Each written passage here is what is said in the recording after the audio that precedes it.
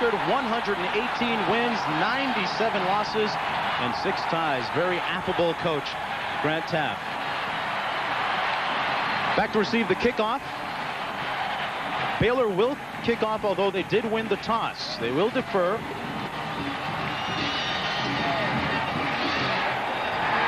Kicking it off will be Jeff Ireland. We talked about him in the opening.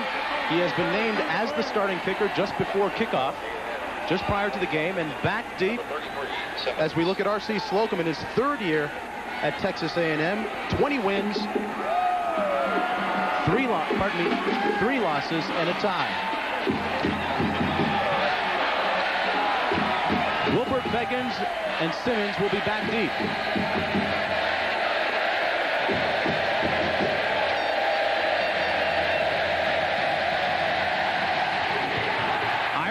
A strong kick that will land seven yards deep and a touchback.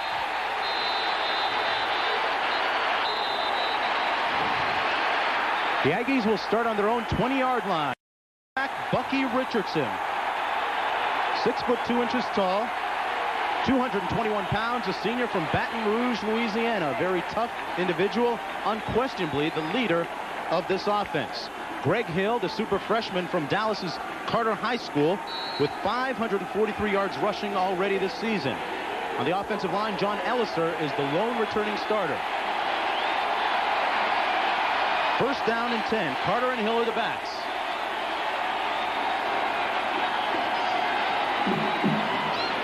Richardson, play action, passing on the first play of the game, complete out to the 42. It's complete to Tony Harrison. Tony. And this is what we were talking about, Mark, right there in the on camera. They've got to throw on first down to be effective, and if they can do that and be successful, it'll open up things for Greg Hill, the freshman sensation at tailback. Tony Harrison, the go-to receiver for the Aggies. Look at the Baylor defense. Santana Dotson, a Lombardi nominee, and a surefire first-round pick in June. Lots of talent up front. The linebackers, Brian Hand, the man to watch, and Clifford Ellison with an interception on the first play of the game last week. First down. Gain of 22 on that first play. The handoff now to Hill. And Hill is up over the 45 to the 46-yard line where Michael McFarland made the tackle. McFarland, 5 foot 10 inches tall, 169 pounds, and he's a junior. look at the freshman, though. There, Greg Hill. There's Hill. He's the fastest A&M back since Curtis Dickey way back in the 70s. He had a 212 yards in his first game against LSU. He's special. Second down and six now for Texas A&M.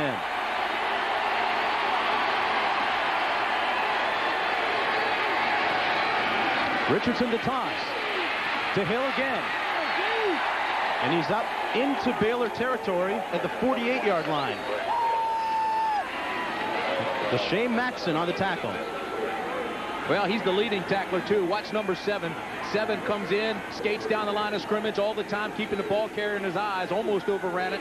But it's that kind of outside-in support that they're going to have to get on Hill because he never offers his body to the tackler, his full body.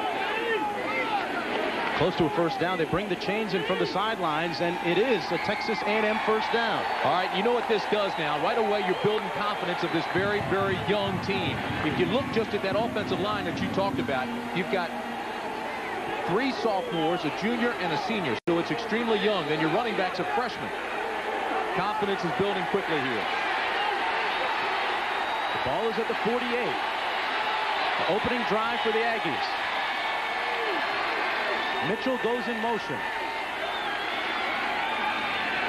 The handoff to Hill, and he breaks a tackle close to the 40-yard line. Down to the 41. Curtis Hafford made the tackle.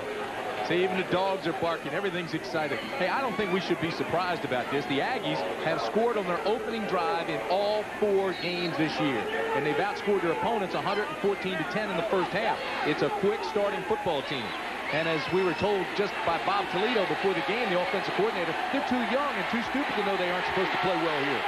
Sharp and Matthews, two tight ends in the ball game. Sharp goes in motion. The toss to Hill. Little room over the right side, down to the 36-yard line, where Le'Shai Maston again made the stop. Maston is only 193 pounds, uh, and he claims that he is over 200 now, fairly light for a linebacker. Well, that's another first down now for Texas A&M, so they continue to move the football and move it effectively. This is what I was talking about with Greg Hill. If you look at that, those are the top freshman rushers the Aggies have had. Hill, of course, out to a quick start, 533 yards, and he got 212 of those the very first week. Says that Darren Lewis is his idol. They went to the same high school in Dallas. Grew up just a block away from each other. First down and 10. Richardson on the toss, on the option. Hill lost his footing and got back to the 37-yard line where Hafford made the stop. Well, see, now they went to the option for the first time this afternoon, and it's basically an option team. But what happened here now, you had Baylor off balance. You were passing, you were coming up with quick openers, you even had a trap in there. So what happens is now you come back to what you do, and that's what they've prepared for when they stop it. No gain on the play. It'll be second and 10. You know, Bucky's first collegiate start was against Baylor, 1987, right here in this stadium, and A&M won it 34 to 10. The wide receivers are split. Richardson to pass and he'll take off on his own. Bucky Richardson eludes one tackler and is run out of bounds to the 16-yard line by Brian Hand.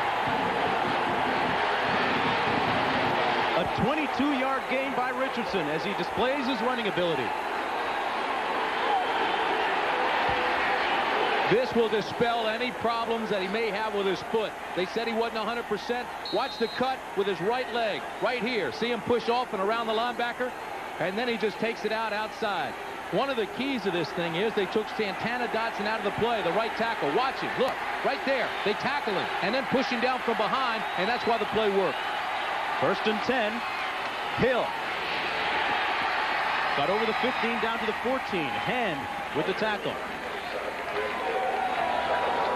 pretty impressive when you can say you've scored on your first drive in every ball game in the year. Well, they say Hill's got more speed than Darren Lewis. He was recruited and seriously considered coming to Baylor right here in Waco. He has rushed for over 100 yards three times already this season. Second down and nine, two tight ends in the ball game. Sharp in motion. Richardson on the option. Keeps it himself and gets down to the 12. Dangerous situation right now for that man, R.C. Slocum. He got into a situation he didn't want to get into, and that's third and long. They're going to need five, maybe six yards here. And that's the situation where this Baylor defense, which is extremely active, can just load its ears up, pull them back, and ready to rush. They're going to come after you here. It's third down and six. This is a Baylor defense that doesn't blitz a lot. They get the push straight ahead with their front four, actually a front eight. Hill and Carter in the backfield. The draw to Hill. Nothing doing. Now, see, it was the it was the third down play. It was the first third down situation that A&M had on this drive, and that's not what you want to do against this Baylor attack. They call that front eight the eight ball posse, and this is why they pinch from the outside to get pursuit from the inside. There's nowhere to run, and Hill tries to cut and slips down. They had him covered from every conceivable angle. Terry Venetoulias now will come in to attempt the field goal. The holder is Brian Payne. This one coming from 39 yards out. Pardon me, 29, and it's good. So Texas A&M takes the ball, marches down, and scores three. We'll be right back. Last year, the average price of a car with standard anti-lock brakes was over $40,000. But today, all that's changed. Because we understand the real value of safety. We've put anti-lock brakes standard on more models than anyone. Even on our least expensive Cavalier. Chevrolet. The heartbeat of America. The cars more people depend on. That's today's Chevrolet. The American Society for Testing and Materials set a new technical standard for antifreeze used to protect heavy-duty truck engines against boiling, freeze-ups, and corrosion. Only one of the three best-selling antifreeze brands made for cars meets that standard. It's the patented car antifreeze that can also keep heavy-duty engines running at their peak. Protect your engine from freeze-ups and boilovers. Remember the heavy duty. Don't stop short of the peak. It's going to be a good week to keep in touch. Remember the day at the ballpark when I hit the ball and ran and slid in the mud and I was big mud. You had a crush on my brother? She reminds me so much of you.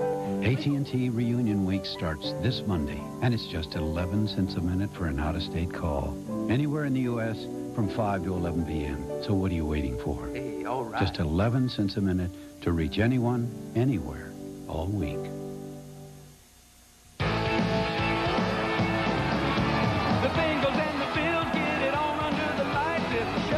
To Buffalo Monday night. You're looking at the scoring drive. Texas A&M taking 5 minutes, 22 seconds to put three points on the board. And now they will kick it off. One of the great traditions at Texas A&M is what they call the 12th man. They just take a student out of the student body. He's not on a scholarship. He's just an everyday student. Robert Watson is the man who you're looking at right there. He's 5'11", 175-pound sophomore. We'll watch him. Deep, it's Bell and Lee Miles. A short kick. It'll land at about the 15. Miller takes it out to the 33-yard line. They're going to bring this one back, Mark. There's a flag down. I believe it's going to be a clip on Baylor, It's a 20-yard return. and it might be on the 12th man. I think Robert Watson got pushed in the back after he got a pretty good lick in the front. And they'll bring this one back.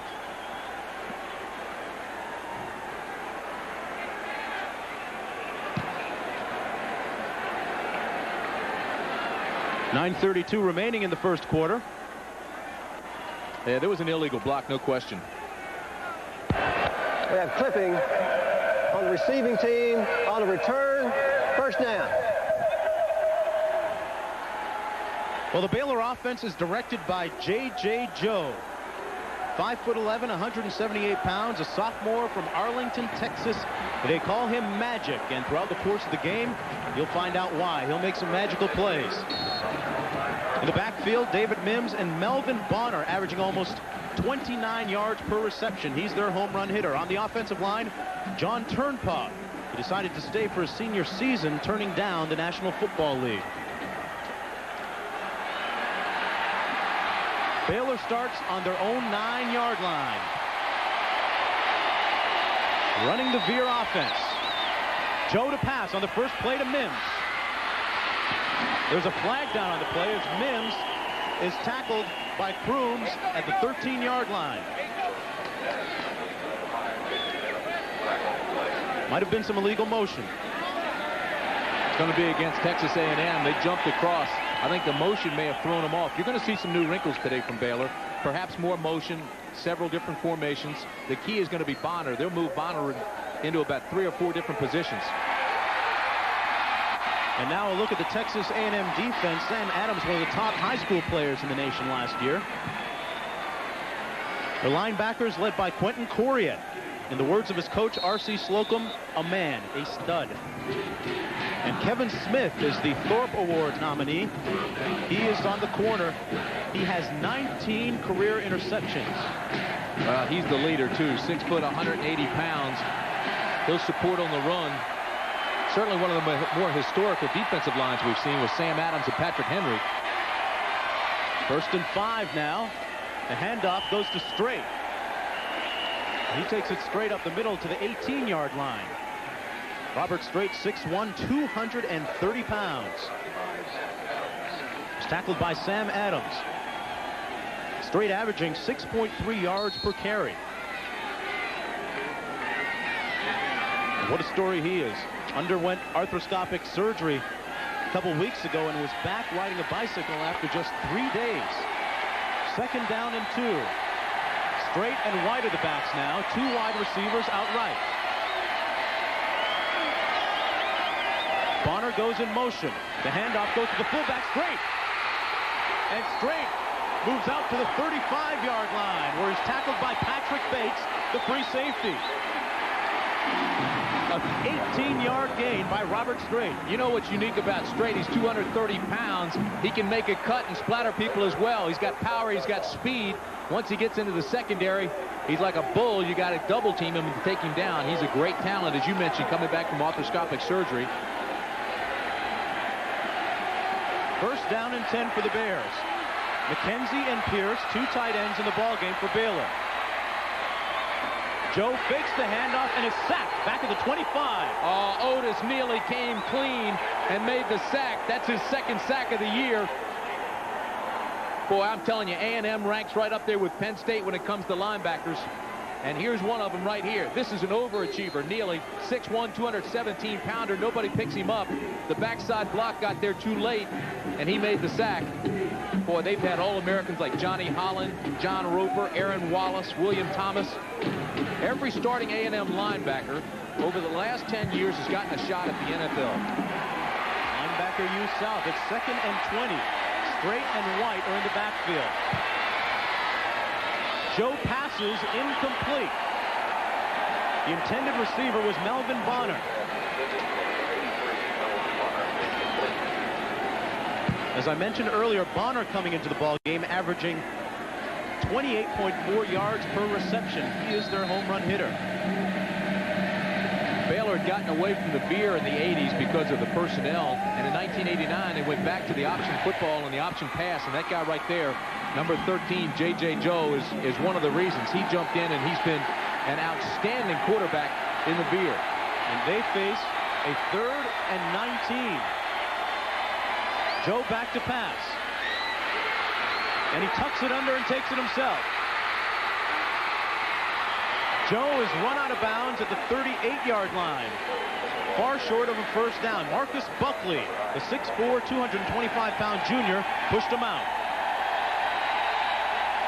And the A&M defense holds on Baylor's first possession.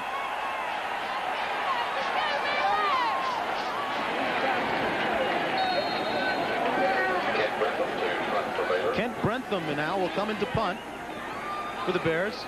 Back deep, Kevin Smith. A high kick that lands at the 21-yard line. Smith tiptoes his ball loose to the 27 and a fumble. There's also a flag. The ball was knocked loose. We're waiting for the signal there. I think he was already down. His knee was down, but there is a flag, definitely. It was a 40-yard punt, five-yard return by Smith. We have a dead ball, personal foul against the kicking team. Personal foul against Baylor.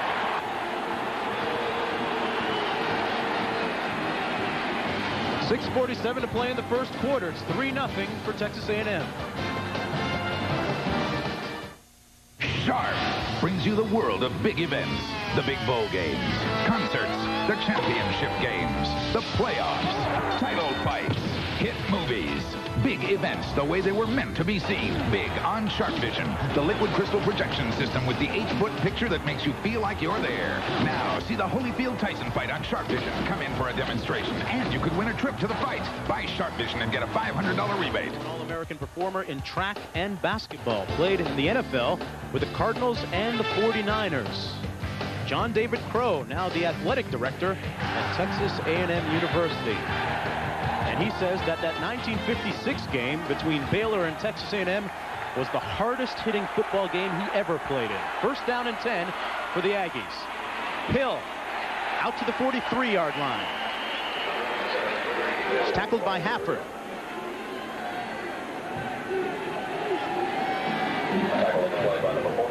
Gain of two yards on the play. It'll be second and eight now. Interesting start for Texas A&M. You know, this team lost four of its top five offensive linemen last year, including All-American center Mike Arthur. They're pulling that all together right now, and the offense has really come, I think, to the point where it's almost as lethal as it was last year. Two wide receivers out to the left. The backs are split. Flea. Richardson. He's got him. Incomplete intended for Brian Mitchell. Great recovery by Keith Caldwell, number three, the free safety. Because I'm telling you right now, Mitchell was behind the secondary. Just the flea flicker, Get it back to Richardson. Good protection up there. He's got all times, all day to throw. And here comes Mitchell behind the secondary. The ball was underthrown. Caldwell caught up to him and knocked it away. That'll set up third down and eight now. Look at Caldwell, 5'11", 173 pounds, a senior. He had three interceptions coming into the ball game today. Yeah, he knows he made a great play, but he also knows he was lucky to get there. He was beaten. Mitchell and Harrison, the receivers. Richardson to pass. To the tight end, Schrock. Is chased out of bounds at midfield by Le'Shai Maston. All that for naught. They're going to bring it back. I think Texas A&M was holding.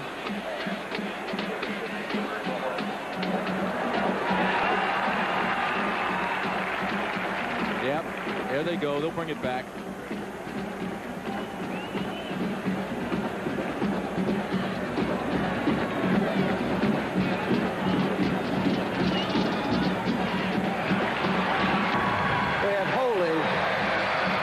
You know, in a game like this where you have two evenly matched teams playing for the conference lead, the team that makes the fewest mistakes will win because neither one of these teams has that much more talent than the other to overcompensate. So if you make a lot of mistakes, that's going to be the difference. This young Aggie team looking very poised in the early going so far. Well, they got away with a hold or two early on. We saw that. They were holding Santana Dotson. This time they get caught. Third down, 21 yards to go. Biggens and Harrison are out wide. Richardson out of the shotgun. Steps up. He's dragged down at the 35-yard line by number 99, Curtis Hafford. That play was made by Santana Dotson. He could be the best defensive lineman in the entire country. He played hurt for three weeks. He's just now getting healthy again. He's a finalist for the Football News Defensive Player of the Year. He's the one that chased Richardson out of the pocket. David Davis now back deep to punt for Texas A&M.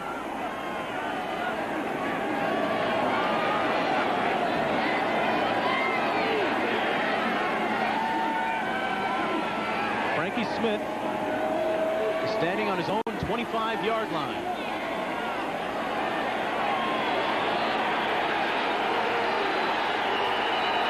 Play clock has already expired. There better be a flag. I don't see one yet. Now the whistle goes. See that? It's been expired for a good five seconds. Still no flag down. Now the officials, I think they went to sleep. It was the Baylor defenders that started saying, hey, the clock is expired. There's still no flag on the field. Delay of the game. That's incredible. That is incredible. The Baylor defense, they called the penalty, and they were right. But the officials never saw the clock expire. They completely forgot about the play clock. So they move it back five yards.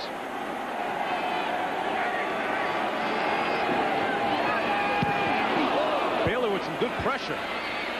Smith takes it on the run at the 38. And he stopped at the 43 by Kevin Smith. 3-0 A&M.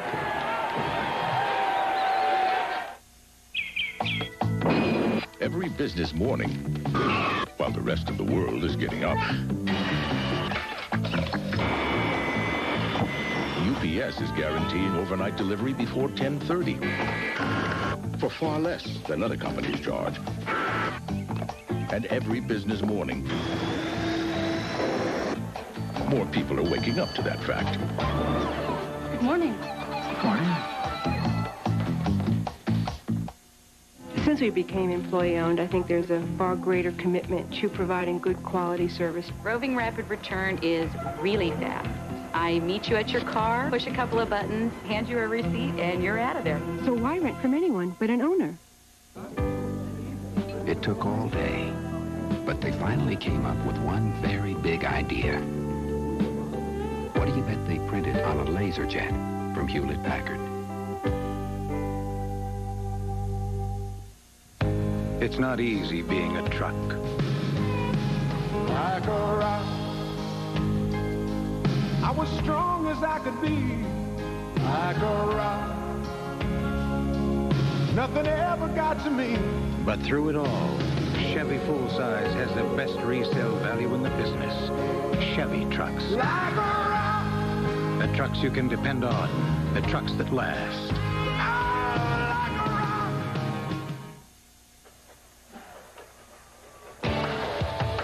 Uh, you're going to look at a friendly guy. His name, Judge Sam, the Baylor mascot. Not your everyday house pet. He's trained by Johnny Williams of the Baylor Chamber of Commerce. Now, the Bears are rotated every two years because of the difficulty handling bears over two and a half years old. Here come the judge. Bringing order to the football field this afternoon. It's 3-0 Texas A&M, 4.44 to play in the first quarter. J.J. Joe and the Baylor Bears take over at their own 45-yard line. Two receivers out left. Joe looks over the middle, incomplete for Bonner. Well, next Saturday on ABC, beginning at 3.30 Eastern Time, regional action. Most of you will see Mississippi State against Auburn in this area of the country. Check your local listings for the game in your area next Saturday on ABC. It's second and 10 now. Strait and Mims are in the backfield. They line up in the eye.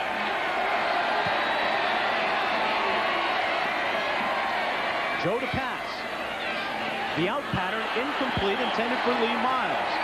Joe underthrew his receiver. We've seen three different kinds of passes now from J.J. Joe. Three-step, which this one is, and just tries to get it out there because of the pressure he's been getting from the A&M guys.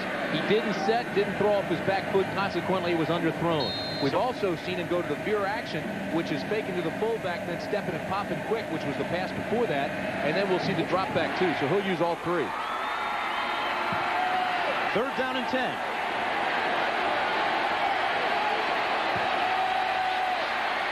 Two receivers out to the left. And now Mims leads up into the slot.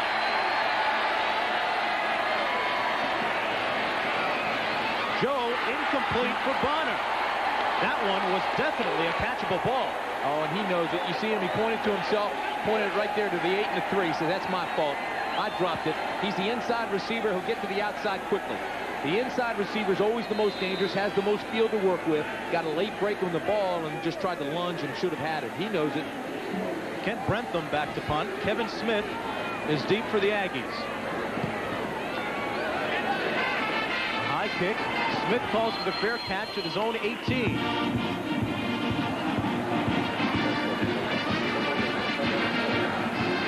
A 37-yard punt by Brentham. Boy, this is a school which is just loaded, and I mean loaded with great traditions. I mean, you talk about the 12th man, you talk about the music of Aggie Land right there with the band, songs of Texas A&M. This is the, the military uniforms they have, you know, and they've gone through when it wasn't vogue to be military. During the Vietnam situation, it's all stuck. Now, after Desert Storm, it is in vogue again. First and 10. A handoff to Hill. He lowers his head and gets out to the 22. Brought down by Marcus Lowe. Well, you know, Brett Teaff is really a master of motivation. He has done just about everything when it comes to motivating his players. He told us about his philosophy. Uh, uh, very simple. Uh, I, I, believe in self-motivation, and uh, I don't think that anyone can last very long somebody else motivating you. It comes down to a point where, as an individual, you have to find your own hot button and become motivated. And what I try to do is just teach youngsters how to become self-motivated. Uh, I'm not some big motivator that gives uh, poignant speeches. I try to teach. He is indeed a teacher. Brian Mitchell with the complete pass. The gain out to the 40 pardon me, the 39-yard line. Texas A&M. It's enough for the first down. Richardson put it right on a rope. He's throwing extremely well. We said he had to throw more today, and he's been doing that. That'll take some of the heat off the Baylor heat seekers. Two tight ends in the ball game now. The toss to Hill. They turn it inside, and he's dragged down over the 42 by Hafford. You know, Hill is having trouble with his footing. We've seen him two or three times now try to make a cut and he slides down. I don't know if it's the shoes he's wearing or what the problem is, but the AstroTurf, this artificial surface here, is causing some problems for him. Look at that. See, he's got the, the waffle shoes on. It's almost like regular tennis shoes, and uh, he's not getting enough traction on those. He may have to change those shoes. Well, Hill has predicted a big game this afternoon against Baylor. Two tight ends still in the ball game. Second and six. Richardson on the option, keeps it himself. himself, steps up the middle. Into Baylor territory at the 46-yard line. Bucky Richardson, very adept at running the ball. Well, I tell you what he's adept at. He's adept at reading the defense. This Baylor defense is so fast. They were they were actually shifting and, and trying to slant toward the ball, and he cut back with the draw play, the quarterback draw. There was a penalty against Baylor. Here's the call. We have offside. Well, on the Richardson defense. averages seven Penalty yards a carry. First down.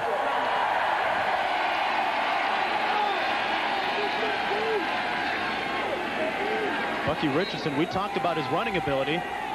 Very strong runner. Not really built like your typical quarterback. 221 pounds, and he's closing in on Marty at Aiken's record for rushing quarterbacks in this conference. First and 10. Sharp in motion. The toss to Hill. And he's brought down at the 44-yard line. Ball carrier number 27, Greg Hill.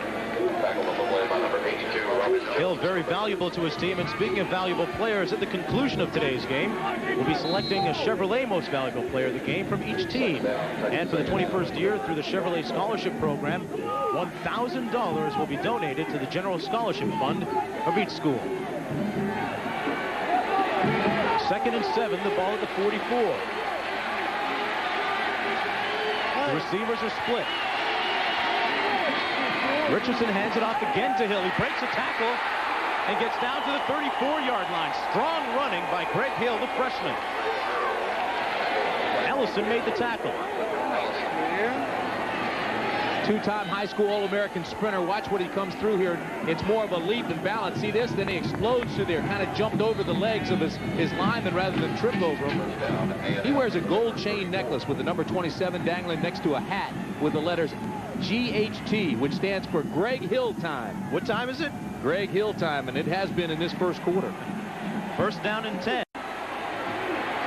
120 to play in the first quarter. Two receivers out to the left of Richardson. The handoff up the middle to Hill.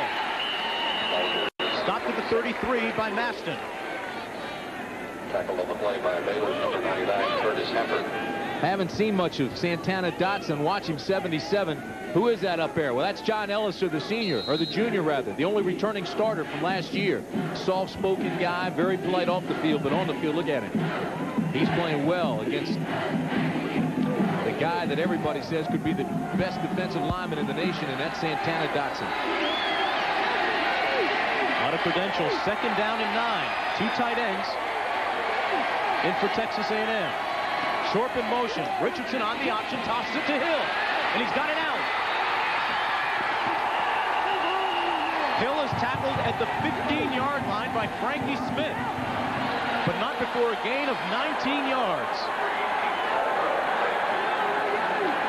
He's approaching the 100-yard mark right here in the first half. They pull Ellisor. Watch this. He comes over, gets in front of him. They throw the block, the kick-out block, and then he's looking for a block from Tony Harrison, the split end. Harrison got stuck on the, the strong safety, and that's the only reason they caught Hill in the secondary.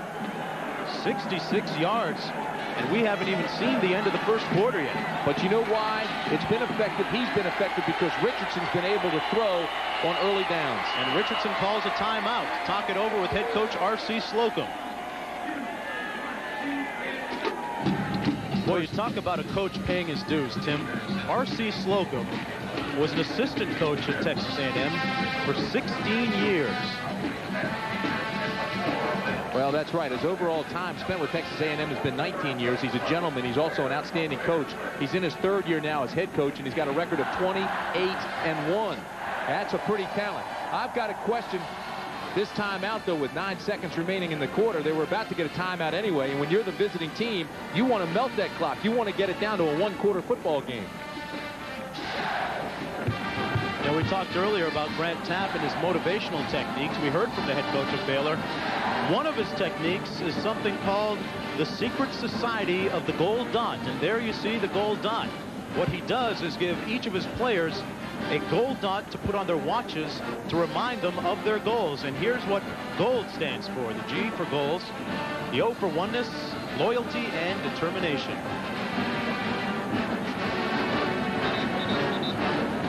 There's a look at the head coach. Southwest Coach of the Year six times. National Coach of the Year, 1974. He's coached 15 first-time, first-team All-Americans. And he's a gentleman. Nine seconds to play in the first quarter. First and 10 for Texas A&M. Richardson hands it off the hill. He stopped behind the line of scrimmage at the 17. That's the end of the first quarter. Texas A&M knocking on the door. They lead 3 to nothing. There boldly, sweating in the sun. Felt like a million, felt like number one. Like a rock,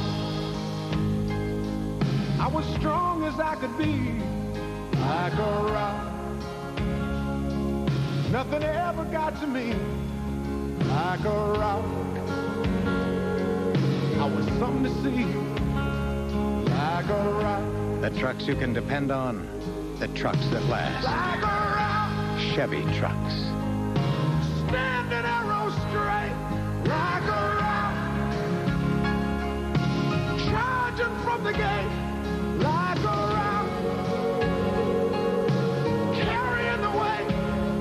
Like a rock. Oh, like a rock. A little brains, a little luck, and a lot of late nights.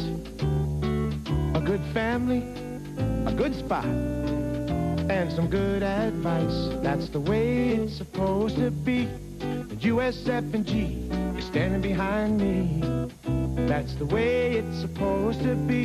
And USF and G is standing behind me.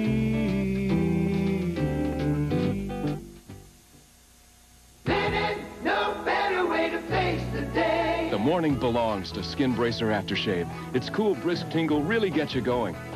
And what a great scent. Skin Bracer. No better way to face the day. Find it. Imagine a rent-a-car company that offers special delivery right to your door. That's Enterprise. Here, let me help you. Enterprise, a special rent-a-car company that gives you special delivery. At Texas A&M, I've been given the opportunity to work on real projects that aren't just for a grade. I'm gaining great experience. Experience is important in and out of the classroom. Our physics students are hunting new particles at the Super Collider and building satellite technology at Texas A&M. Texas A&M University has been demonstrating its commitment to education for over 115 years. Soon will be the proud host of the nation's newest presidential library. Texas A&M University, a leader in education in and out of the classroom.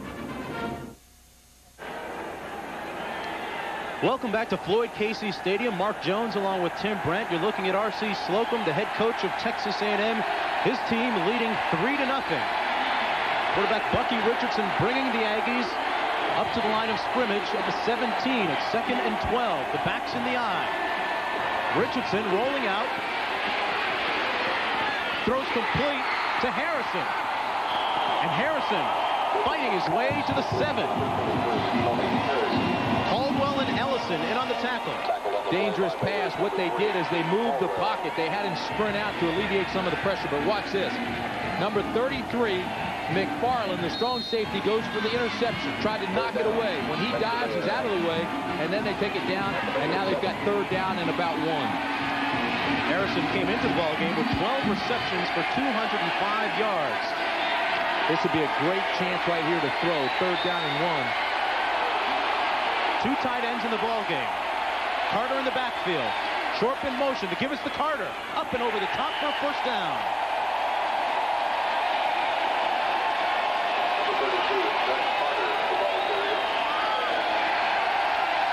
Doug Carter, 210 pounds, a junior.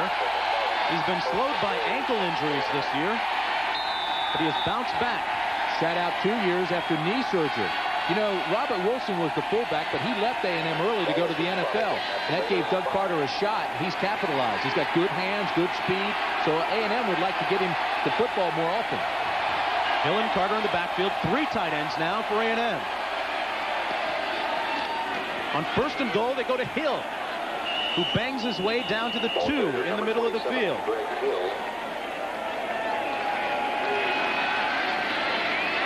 We've been seeing a lot of two tight ends, and they're following those tight ends as well. Look, they load them up on the left side. They call that their elephant or jumbo formation. All the big guys are in there, and they try to take the little guy, Hill, who's only 5'11", 190, put him right up the butt of those big tight, tight ends. Hill and Carter remain in the game, in the backfield.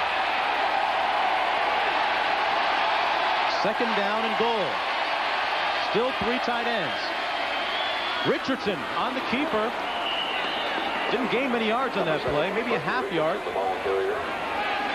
Tracy Miller dragged them down. That's going to set up third and goal. You know, inside the 20, we talked about this earlier, Texas A&M is almost perfect. They've scored 24 out of 25 times down here. If I'm on defense, I'm keying Greg Hill right now. Wherever he goes, I'm going that direction. To stay with Hill and Carter. Richardson on the option and the toss. Touchdown Hill.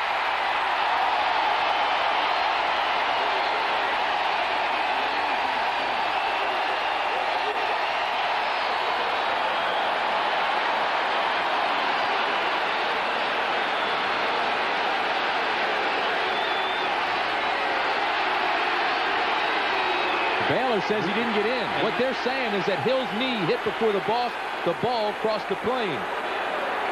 Have another now, look at this. Now they came with the option. Right now I said Key Hill. So they set the safety after him. And number three, Caldwell, followed him all the way. Now see if his knee touches. Right there, bang, he's down. The ball, you can see, is still not across the plane. It'll bring up fourth down and less than one. Great play by the free safety, Keith Caldwell.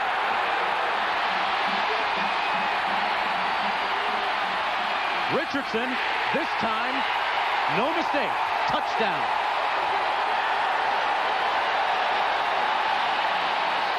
Richardson says, I'll do it myself.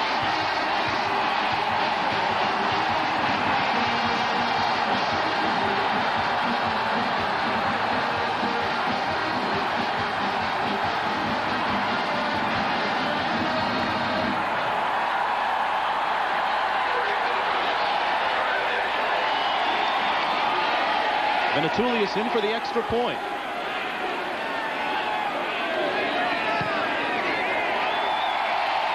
A&M leads 10 to nothing with 12-12 remaining in the first half.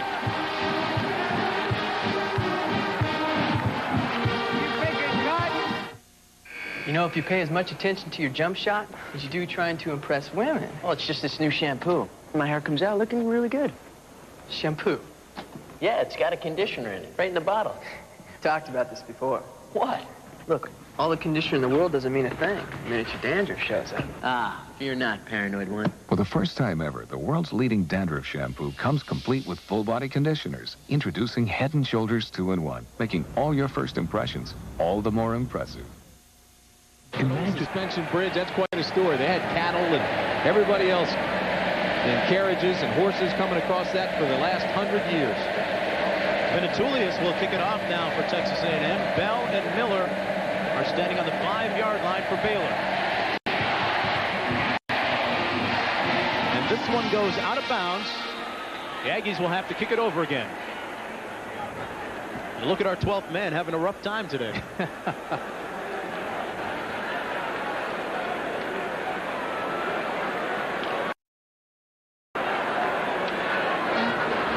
Coming up this Monday, the Cincinnati Bengals taking on the Buffalo Bills. This game in Buffalo beginning at 9 o'clock Eastern time here on ABC. And boy, Sam Wyche and his team struggling, to say the least, this year. 0 and 6. Baylor had an option. They could have made uh, Texas A&M kick it again. Instead, they took it on the 35-yard line. So the Bears start with good field position. Two things we talked about. The young kids for A&M now have tremendous confidence, where the confidence for Baylor, I think, has been rocked a little bit. And the crowd here at Floyd Casey is silent. The give is to the fullback, Robert Strait, up the middle.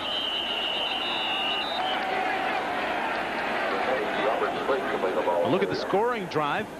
Richardson tucked it under himself, punched it over for the touchdown. They used 7-10 on the clock. And 15 plays. That's phenomenal. I'll tell you something right now as we look at the offense and defense.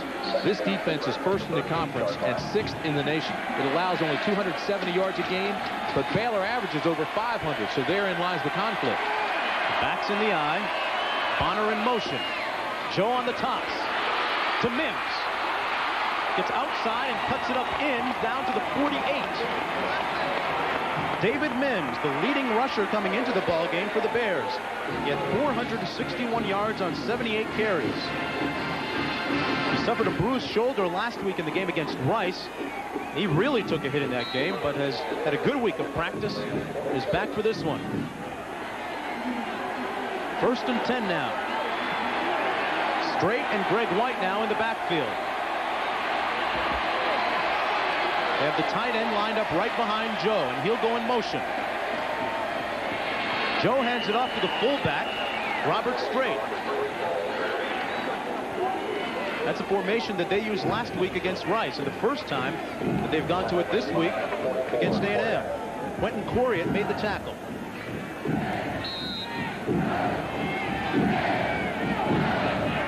A man. RC had to say about it. He is that. He's a candidate for the Butkus Award, the nation's top linebacker. He's matched up with the fullback Strait all day. He'll be a top-rated player in the draft. Pierce goes in motion. Here's Joe. Keeps it. And Joe gets down to the 37-yard line. Patrick Bates, the free safety, came up to make the tackle. All right, we've set the stage now. A&M is an aggressive defense, so J.J. Joe is running more motion today. They'll run reverses, and the Bears even put a, uh, a trap play in this week, but J.J. Joe saw that they were trying to shut down Strait. They were, they were forcing and pinching inside in the middle, so he took it around the corner. Joe is not the type of quarterback that will get himself beat. Doesn't turn the ball over that much. It's enough for the first down. 10:44 remaining in the first half. Texas A&M leads Baylor 10 to nothing. J.J. Joe came all the way off to the sidelines. Did you see him there to talk to Grant Teaff? The play clock now is already down to 18, so he's got to get in the huddle and get out of the huddle quickly. He does. Mims and Strader in the backfield. Melvin Bonner comes out wide to the left. Oh, how about that? Smacked. I want to tell you something. Eric England that time. England is just a sophomore. Came in for Teichelman. And I mean, he bounced right up there in straight space. He's another one of the sophomores, 6'3", 243 pounds. This team has 26 freshmen and sophomores listed on the first and second teams. I mean, they play a young, young football team. Reggie Miller brings the play into the ball game. It's second and 10. Bonner in the slot this time. He goes in motion to the right. Joe gives it to the fullback Strait, who moves down to the 32-yard line. Neely just got there late. Neely, number 56, he's the outside linebacker, didn't close down quickly enough. Robert Strait has three 100-yard games already this season, averaging 6.3 yards per rush. Well, he's the key to this Baylor attack, too. He's the hammer guy inside. Now, he ran for over 8,000 yards in high school, if you can believe that. They believe the shortest distance between two points is a straight line, and they spell it S-T-R-A-I-T. The Bears call timeout. 9.14 remaining in the second quarter. It's 10 to nothing for Texas A&M.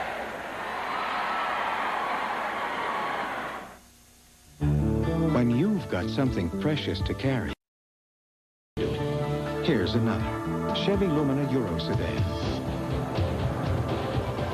Engineered with four-wheel independent suspension and standard anti-lock brakes. It's one way to help make sure your precious cargo is delivered safely. The cars more people depend on. Chevy Lumina. Family Circle's Domestic Family Car of the Year for the second straight year. Searching for the perfect shave?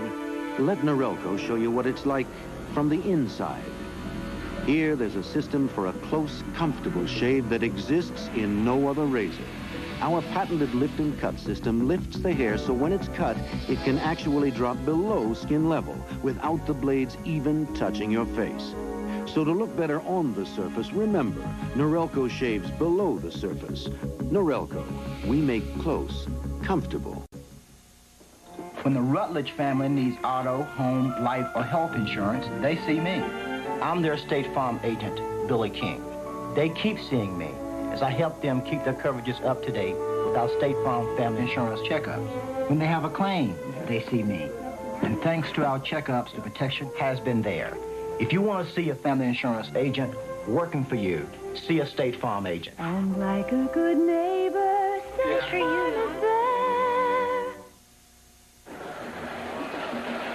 Well, his teammates call him Magic. His name is J.J. Joe, one of the best nicknames in all of college football. We asked him how he got it. Well, it, it started out as JJ. My mom always called me JJ, and that stood for John Joe. And uh, once I got involved in sports in high school, uh, people used to say, well, what's your last name? And I said, Joe. And they said, well, JJ Joe?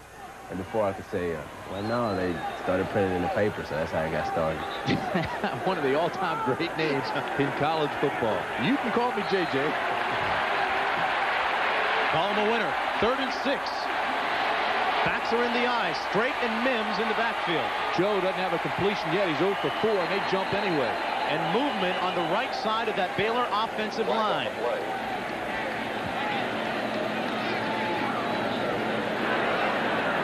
Boy, Baylor's really struggling right now. We have a dead ball, false start on the offense. Still third down. You have to wonder how much last week's game out of Rice really took out of them. Watch the left side of your screen. That's the right side of the offensive line, and they just jumped out of there. You see, Joe was trying to tell him which way the play was going to go to check with me, and he was yelling to his backs, and the right side of his line, which really couldn't hear him that closely because he was looking left, they heard the cadence and just jumped. Lee Miles bringing the ball, the play into the game. They can bring the ball, too. They can play with two balls. Right now, I tell you, they're out of sync. They need help. Miles and Bonner, the receivers. Third and 11. Joe to pass. Over the middle, complete to Bonner. Now we'll have to look at the spot. It appeared that he got down to the 22. Oh, he's got plenty for the first down. He made the first down by about five or six yards.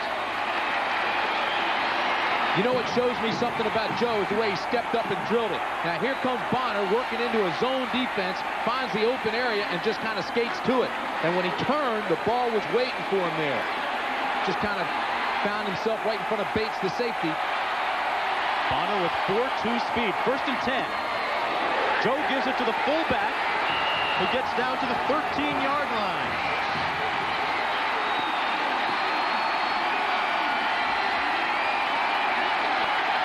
You know, Strait slapping the ground, and he's, he's slapping himself and shaking his head. You know why? He knows he had a touchdown if he could have just kept his feet.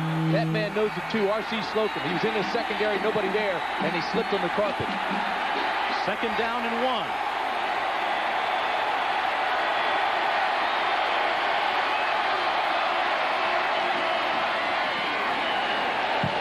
Little or no gain on that play. Strait was stopped up at the line of scrimmage. Mark Wheeler made the tackle. Well, tonight on ABC, after all new episodes of Who's the Boss and Growing Pains, it's Madonna in the network television premiere of Who's That Girl, an ABC movie special presentation tonight, The Material Girl.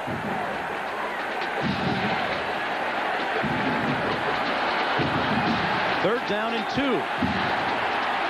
Joe steps up to the line of scrimmage with three tight ends in the game.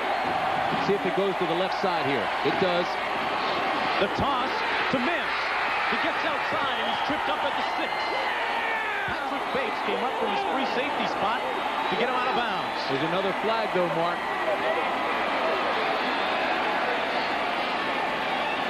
The slant's going to the left side. J.J. Joe sees that, sends the motion to the left, and they go in that direction. But once again, they're going to move Baylor back for illegal procedure, and the Bears are killing themselves. We have illegal motion on the offense. We'll replay third down. They've got four seniors on that offensive line for Baylor. An experienced group, type of group that you wouldn't expect many mistakes from. It's third down and seven. Three wide receivers in. Miles, Miller, and Bonner. A&M coming with the blitz. Here they come. Joe to pass, and he's sacked back at the 27-yard line. Eric England came in from his end position to sack him. That's England's first sack of the year, but what A&M did, and you could see it up here, as they overloaded, showed blitz. Everybody was coming. Atkinson up the middle. That freed England on the right side, and England got right to him. But had he not gotten there, Wheeler would have gotten there as well. This is a big play defense. You see the numbers there. 20 quarterback sacks. I mean, they've got big safeties, and they utilize them all the time. We'll see if Jeff Ireland has his confidence back after last week. This one from 46 yards.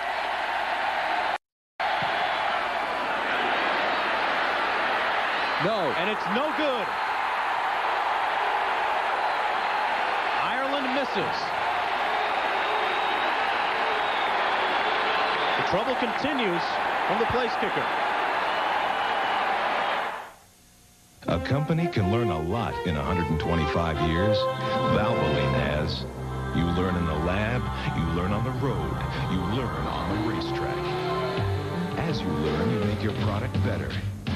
And better, and better. Today's Valvoline will keep your engine cleaner than ever before. And cleaner means more protection against engine wear. 125 years of quality. That's why people who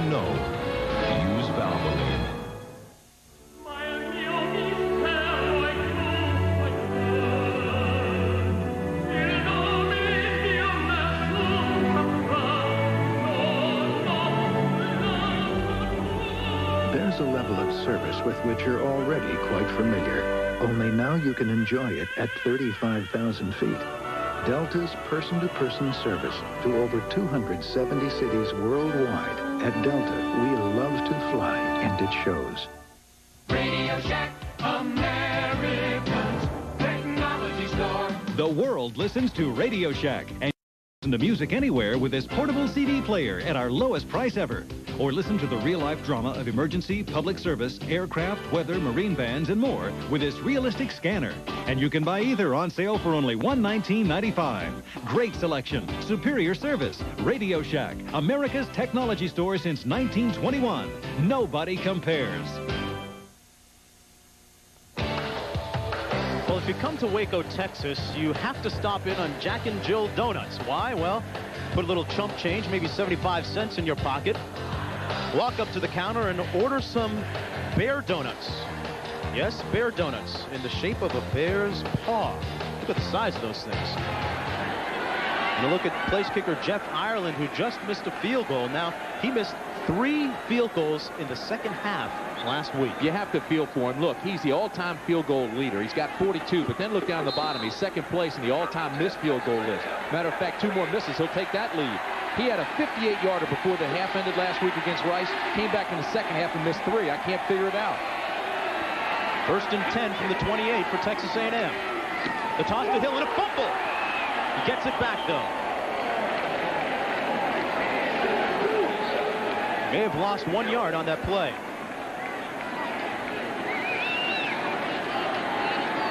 Take another look. It's a pitch, and it's a low pitch, but it's not the quarterback's fault. As a matter of fact, Hill, you could see his helmet jerk up, started to look to see if there was a hole and where the pressure was coming from, and he took his eye off the ball. Sets up second and 12. Ball on the 26. And off the Hill again. And he slipped again at the 29. Clifford Ellison made the tackle. Hill was busy two weeks ago. Gained 137 yards on 24 carries against Texas Tech. Swinging gate play, trick play, here it comes. And there's a flag. The official throws the flag. How about that? A trick play, swinging gate. They had Richardson act like he was tying his shoe, get down by the football, and then pitch it. They have a dead ball foul. False start. No, they didn't offense. stop. See, they they got to come to a they got to come to a complete stop. And plus, you got to let the official know you're going to do something like that. Swinging gate, I love it. They're called pulling out all stops. They did that against Texas Tech. R.C. Slocum goes to his bag of tricks. 5.34 remaining. A&M leading 10 nothing. Look at the quarterback, number seven, acting like he was tying his shoe. Just picked the ball up like you're doing street football and got it back to Hill. They call that the swinging gate. College football. Third and 14. Two receivers out to the left. Richardson rolls out. Throws. Complete to Brian Mitchell. Good job of getting those feet down in bounds. Oh, but the job was done by the quarterback, Bucky Richardson. He had all kinds of pressure, 17-yard gain, and he just kind of threw it on his heels because he was going to get hit. He knew he was going to get hit. Here comes Mitchell now. Mitchell takes the outcut, and he'll get his feet down. You only need one foot in. But the play was made by Richardson. Look, he knew he was going to take a hit. He's falling back, still whips that thing as hard as he can, almost sidearm, and makes the completion. Big-time play by Bucky Richardson. First and 10 for A&M.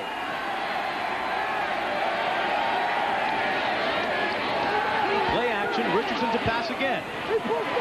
Completes it again to the same man, Mitchell. The foot race ends at the 12-yard line. Michael McFarland finally dragged him down. Another great play by number seven, Bucky Richardson. Got the ball out to Mitchell. All Mitchell had to do was catch it and run. But Richardson rolled right. He sees the cut by Mitchell, puts it right there by the sidelines, and then he's off. He's fast. That's his seventh catch of the year. He's got a 34-yard per catch average, so you know after he has the football, he's going to pick up some yards. But again, Richardson had a lot of pressure from Robin Jones. First and 10.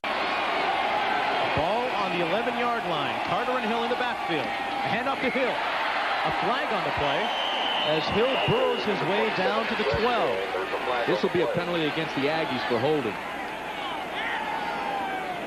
McFarland and Maston made the tackle. Down by the seven-yard line. This one's against A&M. Frustration by R.C. Slocum. Phenomenal statistic, though. Every time that Texas A&M gets down inside the 20, they score.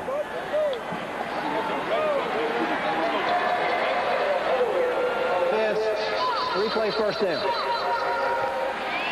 So that'll make it first and 15. A little bit more than 15 because this year it's at the spot of the hole. Ball is on the 18. Harrison out wide left. Richardson to pass. Throws complete down to the 11-yard line to Harrison. You know, when the coaches talk about Bucky Richardson, they say, hey, this guy's big time. Don't just think of him as a college quarterback that runs the option. He's got a good, strong arm. Watch Harrison. Goes out to the sidelines and he'll drift back in because he sees Bucky Richardson looking to the middle. He drifts back in with his eyes and his shoulders and makes himself available. Second and seven. Harrison comes out wide to the right. The toss to Hill. And Hill goes down to the one-yard line. Finding some room over the left side on the toss. With two weeks to prepare, Texas A&M was idle last week. The Aggies are showing more tight end motion than I've seen them use for a long, long time. 86 Short is in motion, and he comes and uses a kick-out block. Hill cuts right up behind him and dives for the end zone down to the one. So there is one of the new wrinkles that R.C. Slocum has put in for this game. More motion by the tight end as an extra blocker. Three tight ends, first and goal. Richardson scores another touchdown.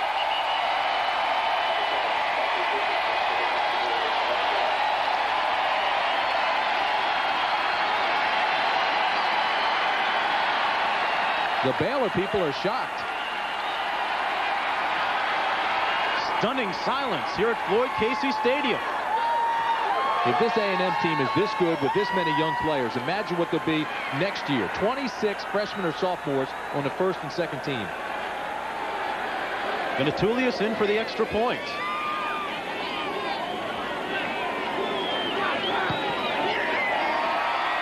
Texas A&M leads 17 to nothing.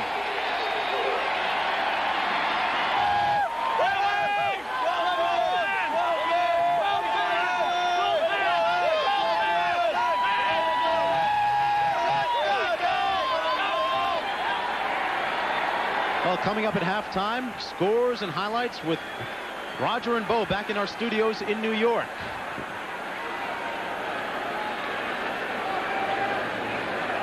How about this? I don't think anybody would have anticipated Texas A&M coming into Baylor, 17-0 score. Here's the Aggie yell. Come on, 12 man, put out! Now, these schools are separated by 90 miles, and the rivalry has some very deep roots. There was a time when Texas A&M did not take female students, and A&M men used to make the trip down the highway and, God forbid, date Baylor women. Oh, my. Ooh. That'll get you going. Matter of fact, the Aggies bust in this morning just four hours before kickoff. Venetoulias' kick goes down to the five-yard line, down to the two. Bell on the return. And he's tripped up at the 14.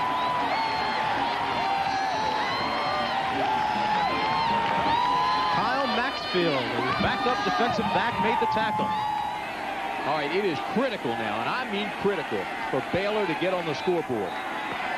They were upset last week by Rice. They come into this game here with 3.46 left in the first half. They not scored, although they threatened. But they've got to get going. J.J. Joe throwing the football has been inept. They just have not gotten the offensive attack going. Miles comes out wide. He's out to the left. Tight end in motion. Joe to pass. Complete for Miles. And Miles is stripped. A&M recovers.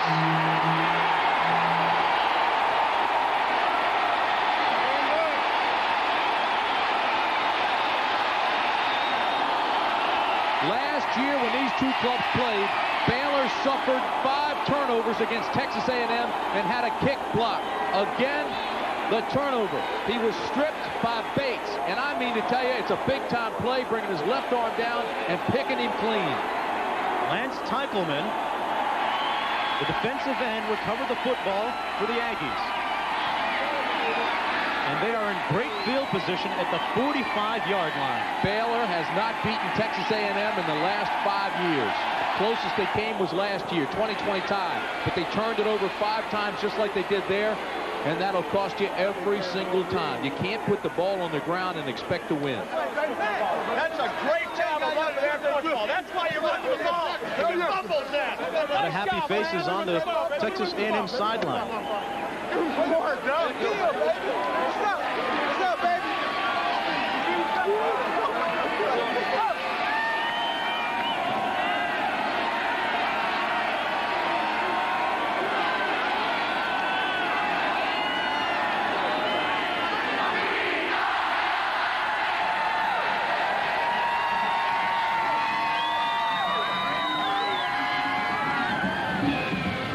Look at R.C. Slocum speaking with one of the officials.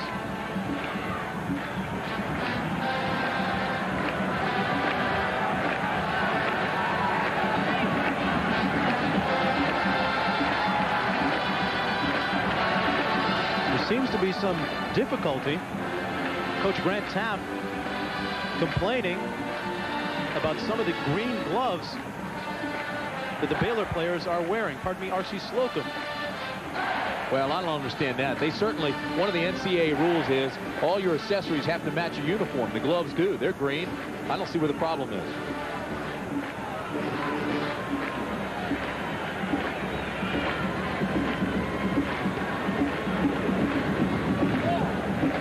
Well, there's 3.38 to play in the first half, and A&M leads 17 to nothing.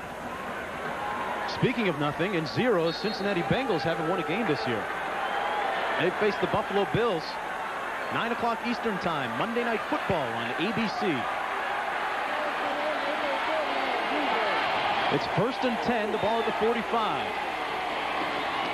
A handoff to the freshman Hill, and this time he's stuffed At the line of scrimmage by Robin Jones, a 6 foot 4 inch, 265 pound senior. They call him Big Cat Jones. Fullback, tight end in high school. Now they move him to defensive end. He'll be a number one draft pick. And here's the swinging here's the gate swinging again. gate again. And this time they're going to throw it back to Richardson. Mitchell throws it to Richardson, and he's got some space. Bucky Richardson down to the nine-yard line. The swinging gate opens up for a big game. Bringing out all the wrinkles, 38-yard gain. They tried the swing gate earlier. This time, instead of taking it all the way around, now you see the right of the screen, that's the quarterback. Acted like he was tying a shoe, then came up and snapped the ball quickly. The ball goes back to Mitchell, who used to be a quarterback in high school. He throws back to Richardson, and the right side's wide open. It's a trick play. It's been in college football for years. I think every team uses it. If you're on defense, you've got to have one guy assigned to watching the trick plays all the time, or you're going to get caught in a huddle. That should never happen, especially after they've tried it here it is again. Everybody's to the left side. Now the quarterback snaps it, just like street football. Somebody's got to come back and watch the quarterback. They don't. And then Bucky Richardson takes it all the way down the right sideline. Good thing there's good speed in that secondary. He had another touchdown. Richardson runs a 4.6 40-yard dash. And I would think that right now, Coach Grant Teaff would want to go to his local hardware store and buy one of those swinging gates.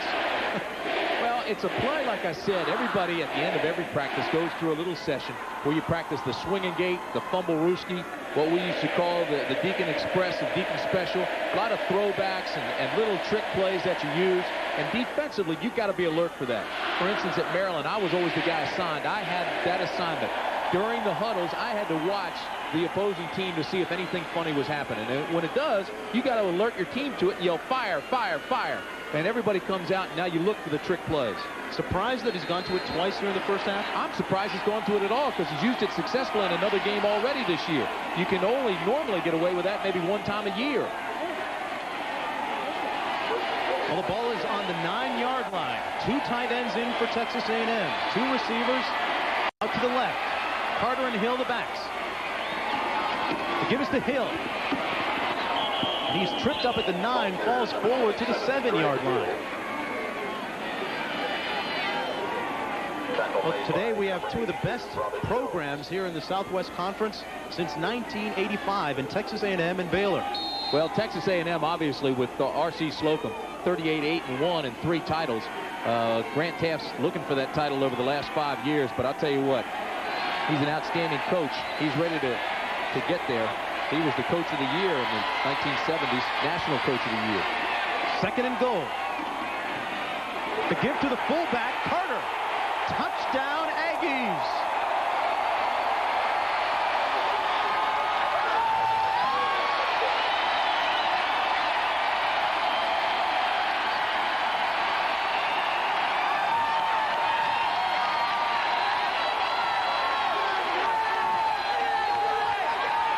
There's the cotton for the Cotton Bowl. And they're Cotton Bowl representatives here. And also representatives from the John Hancock Bowl. Venetoulias, and again. And good again. Texas A&M stunning this crowd here at Floyd Casey to the tune of 24 to nothing. It's still very early, 221 remaining in the first half, so you have the whole second half to, to play, so we're not counting Baylor out. But I'm going to tell you this, if Baylor does lose today, they're out of the Southwest Conference hunt, and they can forget about the Cotton Bowl. Well, you have to wonder how much effect that loss last week had against Rice. Well, it looks like it's been big. Now, on the other hand, Texas A&M had last week off, and they now seem to be in the driver's seat for the uh, Southwest Conference title if they win this ball game because they play Texas, they play Arkansas, and they play Houston all down at Kyle Stadium in Texas A&M and College Station, and they don't lose many games there. Well, most of you will see next week an SEC battle as the Bulldogs of Mississippi State meet the Auburn Tigers, plus regional action. And a look at the remaining schedules. And there's ABC's college football lineup next week.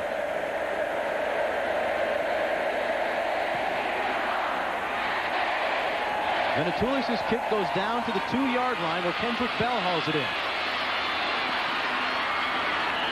Bell is pushed out at the 24. Larry Jackson pushed him out of bounds after the 23-yard return. Important here now, Tim, you'd think anyway, for Baylor to get some kind of points on the board before halftime. Well, we said that last drive, too, and they turned the football over after moving it all the way down to the 35. Look at the scoring drive by Texas A&M as Baylor starts first and 10 on the 24. Joe hands it off to Mims. And he's tackled at the 22.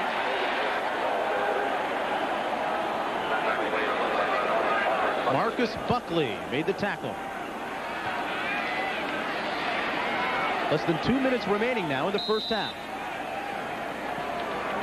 Second down. Where's the look at Richardson? He's had an outstanding first half. We said he had to be the stabilizer with this young attack, and he has done that, boy. He has been sensational. Joe now play action.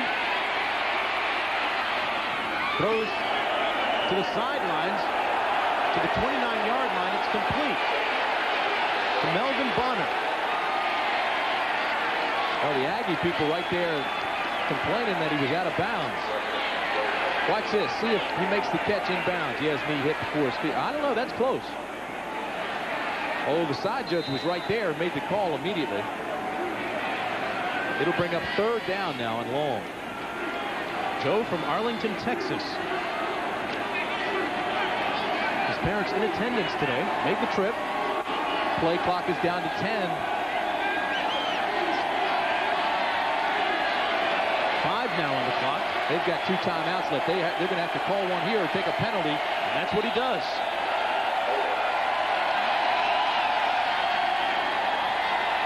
Smart play by J.J. Joe. Is that an unorganization, Tim? No, it was it was the fault of the coaching staff because they sent a play in with a messenger, but they didn't send him in until there were 18 seconds left on the play clock. So J.J. Joe was handcuffed. I mean, he had to wait for the play to come in, and then when he got up to the line of scrimmage, he was smart enough to look at the play clock and call timeout with two seconds.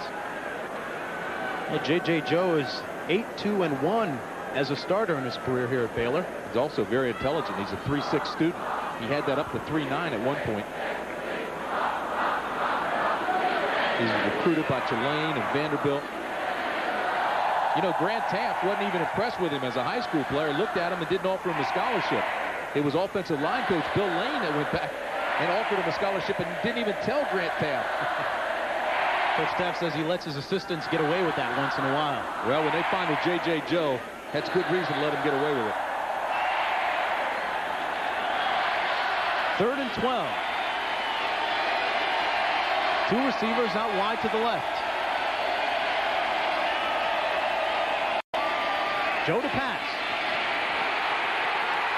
Eludes three tacklers and brought down by Marcus Buckley. All the way back at the four-yard line.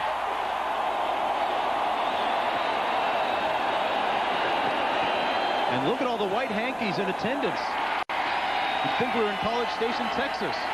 18-yard sack by Marcus Buckley, only returning starter at outside linebacker from last year.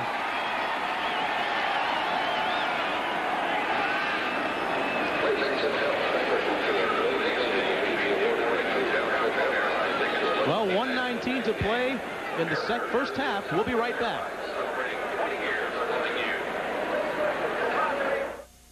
Hi, I'm Frank Gifford. Be with us this Monday night from Buffalo as the Buffalo Bills take on the Cincinnati Bengals. Quarterback Boomer Esiason will lead a frustrated Bengal attack as they look for their initial win of the season. Meanwhile, the Bills, sporting the best record in the AFC behind quarterback Jim Kelly, are thinking one thing, a return to the Super Bowl. See you Monday night from Buffalo, Monday Night Football. Columbo LAPD. Dabney Coleman guest stars in an ABC movie special. Ooh. Columbo and the murder of a rock star. Thursday. Welcome back to Floyd Casey Stadium in Waco, Texas on the campus of Baylor University. Mark Jones along with Tim Brant, where Texas A&M leads Baylor 24 to nothing in a shocker so far. Fourth down and 29. And Texas A&M sets up for the block. Nobody back for the punt. They got it. Oh, that was close. Almost. This one lands at the 45 and bounces and stops at the 49-yard line. So with 110 to play, Texas A&M with great field position. Watch how close this is. I really thought they had it. They overloaded, so somebody came free up the middle. Oh, you know what? He's got to take a better angle. See, he jumped straight up. He's got to take a better angle. That was Crooms, number six. If he lays out and crosses his arms, he's got the block. Brentham got off a 46-yard punt. Boy, that was big. I thought he had it. Had he laid out, he did have it. The Aggies start on their own 49. 110 remaining.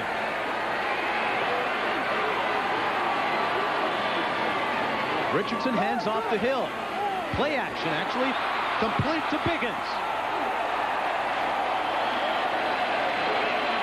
Bucky Richardson with a sleight of hand move. I Tell you what he does have. He's got a gun on that right arm. He really fired that ball and hit him between the two and the one. Could not have been thrown better. 18-yard pickup. Richardson working the clock. 59 seconds remaining. Biggens going to have a bruise on his chest tonight. Richardson to pass again. Throws incomplete dangerously that time for the tight end Greg Short. And look at the discrepancy in total yards. Baylor's offense coming into the game averaging over 480 per outing.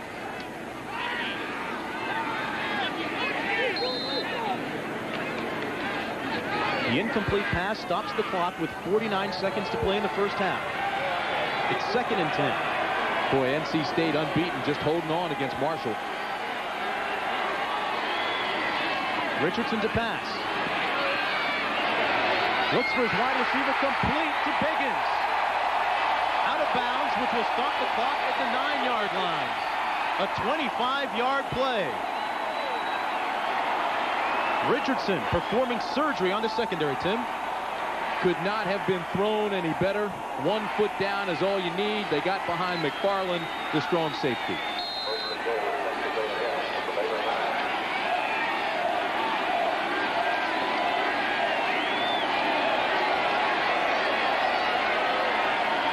First down and goal on the nine. Richardson into the end zone, incomplete for Brian Mitchell. And that stops the clock with 32 seconds.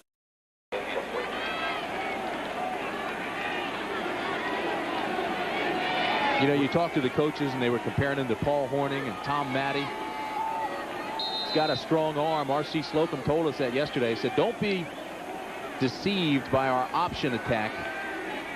He says he makes great decisions, but he can also throw the football. He's an underrated player, and R.C. Slocum thinks he's going to make it in the pros. Second down. Carter and Hill are the backs. They come out to block. Complete touchdown, but there's a flag on the play. Hill ran in for the touchdown, but there's a flag in the end zone.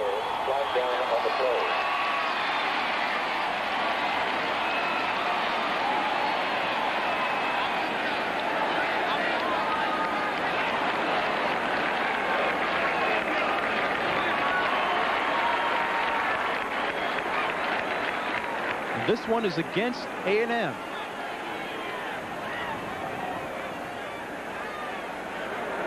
I don't think either team could be happy with that. Interference on the offense, 15-yard penalty, loss of down, third down. See, now what's important about this is it is offensive interference against the, the offense, and that is a loss of down, and that is big.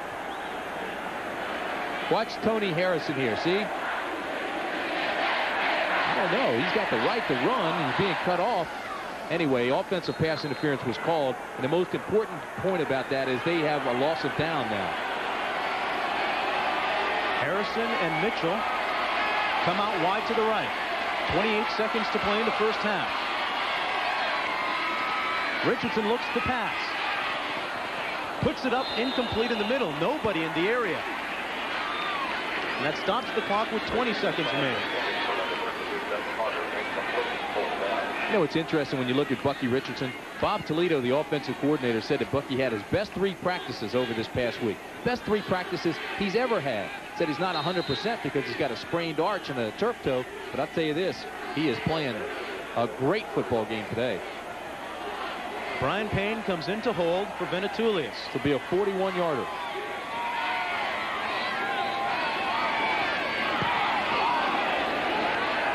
And he nails it. Venetoulias goes two for two on the day and puts Texas A&M up 27 to nothing. A 41-yard field goal. And Tim Brant, what does Coach Grant Teaff tell his team at halftime? Better tell them to wake up. There's an Aggie tradition that I like. After every score, they've got to kiss their date. I hope that's his date. Talk about that one later.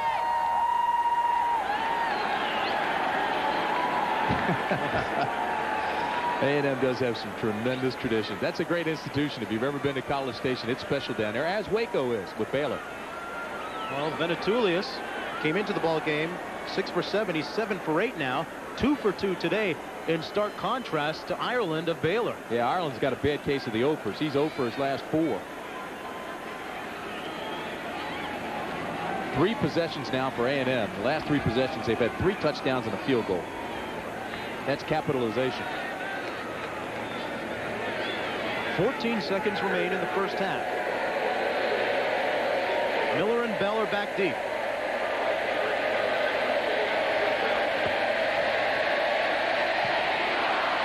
They squib it down to the 21.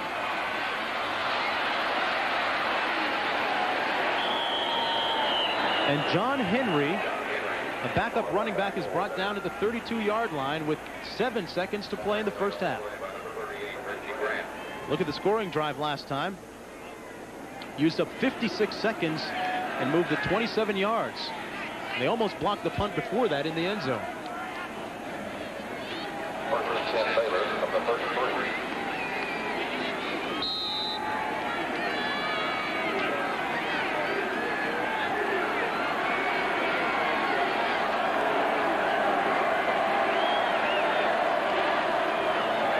Joe back to throw.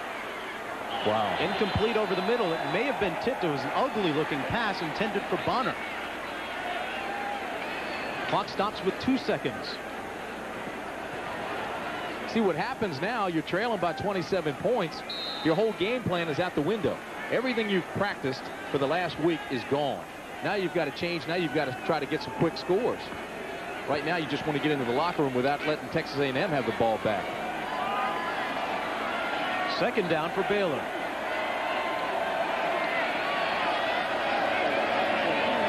Joe back again to pass. Looks over the middle. Nobody in the neighborhood. And Patrick Bates almost had himself an interception to end the half. And a very vocal Texas A&M group of followers let their team know about their pleasure. They lead 27 to nothing after the first half.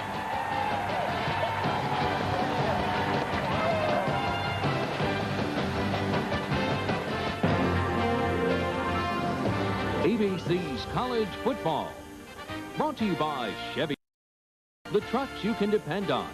The trucks that last. And by the United States Postal Service. We deliver for you. Texas A&M. Had only one drive that went past midfield. That resulted in Ireland's 46-yard missed field goal. I mentioned the crowd of 50,267. The record is 51,200 set October 26, 74 in a game right here against Texas A&M.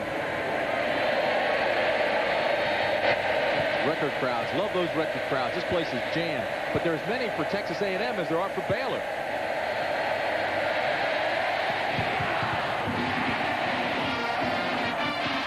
Miller hauls it in at three. Cuts it up inside and he fumbles. There's a flag on the play.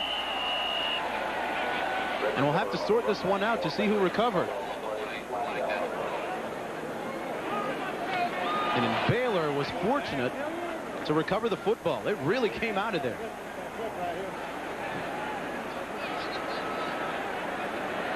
Here he is again. There's the hit. I think he was down before the fumble occurred. He had possession of the football when his knee and his body were down. It's going to be clipping against Baylor. I tell you, they've been working on the 12th man all day long. The 12th man is number 12, Robert Watson. Watch him. There it is, the push from behind. He's getting a good old-fashioned whooping today. We have clipping on the receiving team on the return. Penalize half the distance to the goal.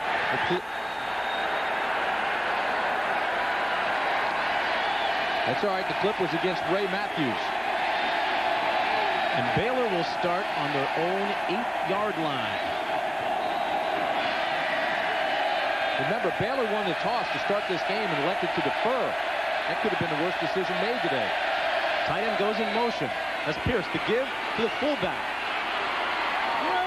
He rumbles out to the 25-yard line. Robert Strait.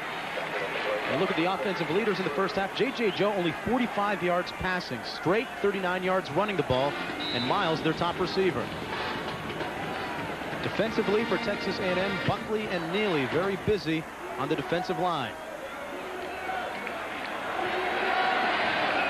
We'll talk a lot about Buckley in the second half. He's quite a story. Two tight ends in for Baylor. The give goes to the fullback, and he fumbles as well. Mims tried to recover it, and now Texas A&M may have gotten it back. They did. Aggie ball. And you know who made that play? Buckley. Chris Crooms recovered the fumble for the Aggies. Buckley is head up on the tight end. Now he comes across and gets right in the face of J.J. Joe. Joe looks at him, and when he does, he drops the football. Then it's just a scramble, and Buckley gets back there. Now his dad died August 5th, did Marcus Buckley. And he dedicated this season and his entire life to his dad. He went out against Texas Tech. He had three sacks, a fumble recovery, caused another fumble, and today, in this game right here, he leads tackles with four. He caused a fumble there and got it back. And Mims is the injured player. He injured his shoulder last week in the game against Rice.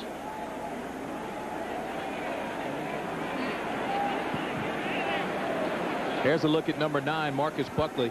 He worked his way through high school, working in a service station, came into school as a Proposition 48. He hates everybody to even mention that because he's doing so well in school now. He's up and he's got his average well above 2.0 up near a 2.5, 2.8. He's on schedule to graduate. He's only a junior. Great story. Mims is up and coming off as well. Well, the second half begins as the first half ended for Baylor. Here's a look at Buckley. I was talking with John David Crow, the athletic director at uh, halftime. He says that they were going to hype Buckley for the Heisman preseason, but then he got hurt. But I tell you, he is a great talent. Richardson on first and 10. Movement up front. And flags on the play.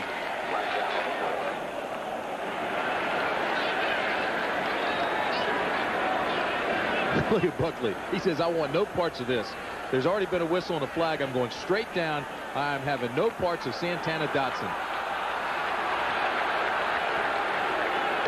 We have offside here.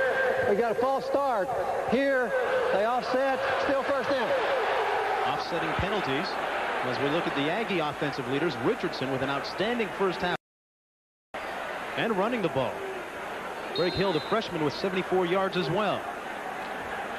Richardson set the tone for this entire game. And they're the defensive leaders for the Bears. First and 10. Hill. Straight up the middle. Bad carrying tacklers. What a surge. Oh, he's just a freshman, a redshirt freshman. In his first game, he went out and ran for 212 yards. He grew up next to Darren Lewis. He's going to be one of the all-time great A&M backs. He's certainly the fastest, but he just proved right there that he's also one of the strongest. Carried four tacklers all the way down inside the five to the three-yard line.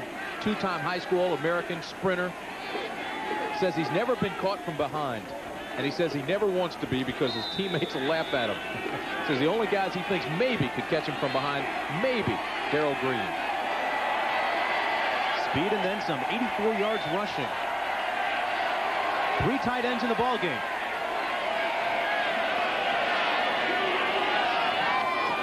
On first down, they go to Hill, the freshman, and he scores a touchdown. GHT. Greg Hill time. What time is it? It is Greg Hill time. You know, he reminds me of Emmitt Smith.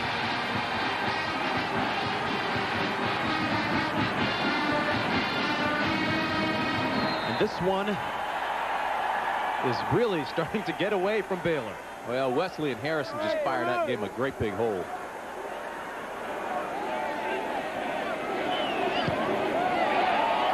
Extra point is good. The Aggies score quickly in the second half. It's 34 to nothing.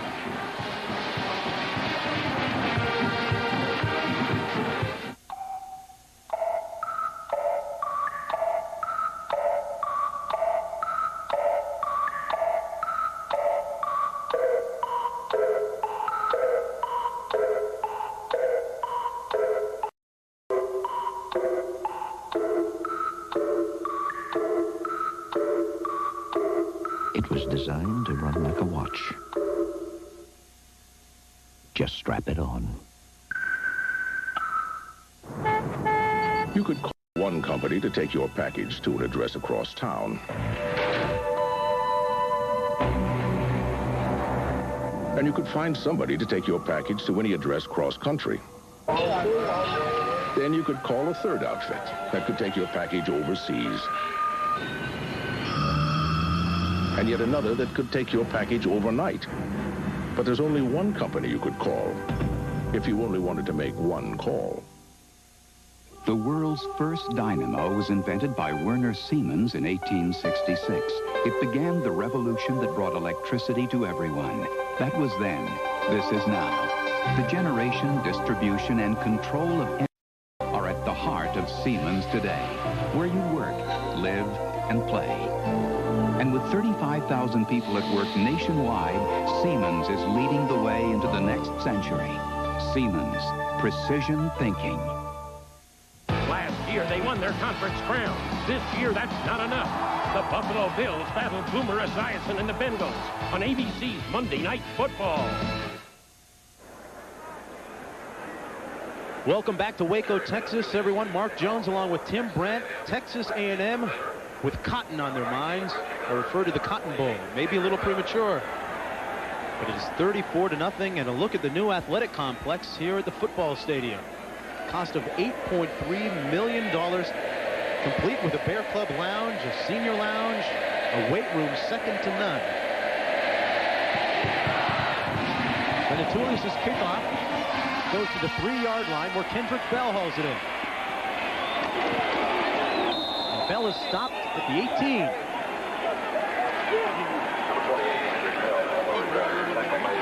Well, let's take a look at how we got to 34 to nothing. A&M opened up on their opening series, scoring a field goal. Then Bucky Richardson in the second quarter ran one in for a touchdown.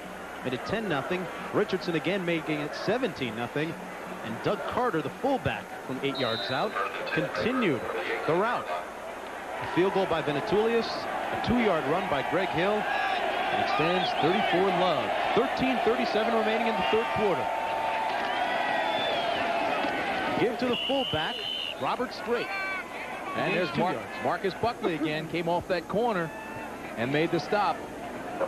He's their designated blitzer. He comes off that corner. They play what they call a nine technique outside the nine hole. And he just comes straight down that line, puts pressure. Look at Maryland coming back, beating Wake Forest by a point. Carolina over Georgia Tech. That's a little bit of an upset. Michigan State winning. Second down and seven. Tight end goes in motion. That's Pierce. Joe throws. Complete to the 29-yard line for Lee Miles. Kevin Smith, the Thorpe Award nominee, making the tackle. They may have to measure this one. it's awfully close. They'll bring the chains out, I'm sure. Lee Miles is a track and field All-American. He has a sore knee. The coach is saying that Miles runs a 10.2 100 meters, world class. Boy, that was close. They got it, though. First down. You know, earlier we told you Arkansas beat Texas today 14-13. Texas with a missed field goal. And that game's big now because Texas drops a game in the Southwest Conference. Arkansas still unde undefeated. Texas A&M headed toward that direction. They could go 2-0 if this, this game holds up. Baylor now with its second loss, I think has taken itself out of the Southwest Conference chase. I mean, they're out of the hunt for all intents and purposes. First down and 10. Bonner in motion to the right.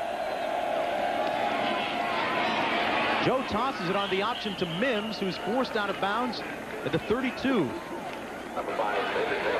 Otis Neely pushed him out. Boy, Mims and Joe are going to have a lot to talk about tonight. The roommates. Well, you know, it's interesting. Le'Shai Maston, the outside linebacker for Baylor, he's having a Carter High School reunion tonight. So Brian Mitchell and per Percy Singleton Smith and Greg Hill, they're all going to spend the night over at his place. Love to be a fly on the wall in that conversation. But one of the rules, though, they can't talk about this game, they said. Second down. Strait is stopped up at the line of scrimmage. Gang tackle. Quentin Coryatt. Watch number 44 in the middle of the pack. He's the guy that penetrates. He's coming right now, anticipates the snap, comes, overloads, shoots the gap, makes contact on Strait, and I mean to tell you, he put Strait straight up. That'll put your eyes in your forehead and loosen your fillings. That's a great hit by Quentin Coryatt. Coryatt, you know, his brother played football right here at Baylor. Yeah, you talk about, we talked about this in the first half. I can't think of any other school, maybe Penn State, that has as many great linebackers come out of it as Texas A&M. Third and six for the Bears. Bonner in motion to the right. And flags down on the play.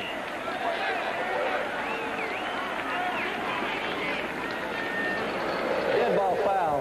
Delay of the game. Delay of game again offense, against Still Baylor. down. You know, to continue that thought about the linebackers at Texas A&M, every starting A&M linebacker over the last 10 years has gotten a shot at the pros. What does that tell you? They're churning them out. That's also a great tribute to Bob Davie, the defensive coordinator.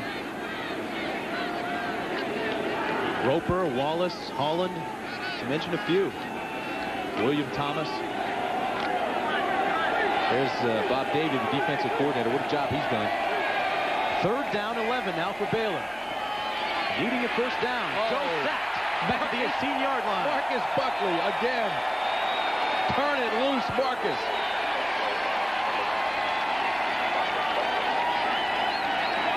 Six four, 225-pound heat seeker. Hunt and confront Marcus Buckley. Nine tackles, two sacks for 25 yards. Living in the backfield this afternoon. Punting situation now for Baylor. Kevin Smith is back for the kick.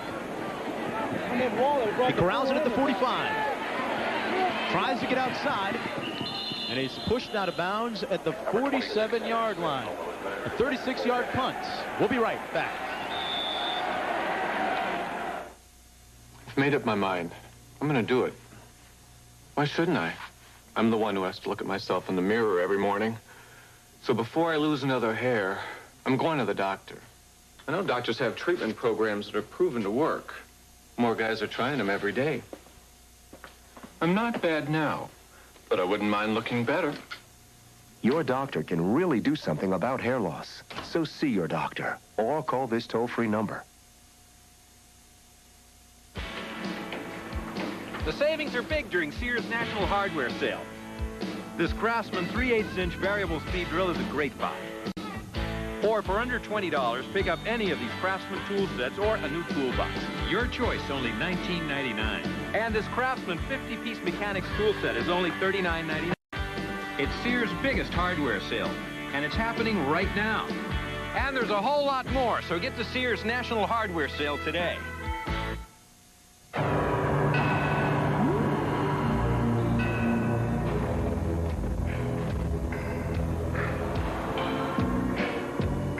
Our competition uses a very sophisticated, state-of-the-art, highly precise device to measure their cars. Our car, the Accord from Honda.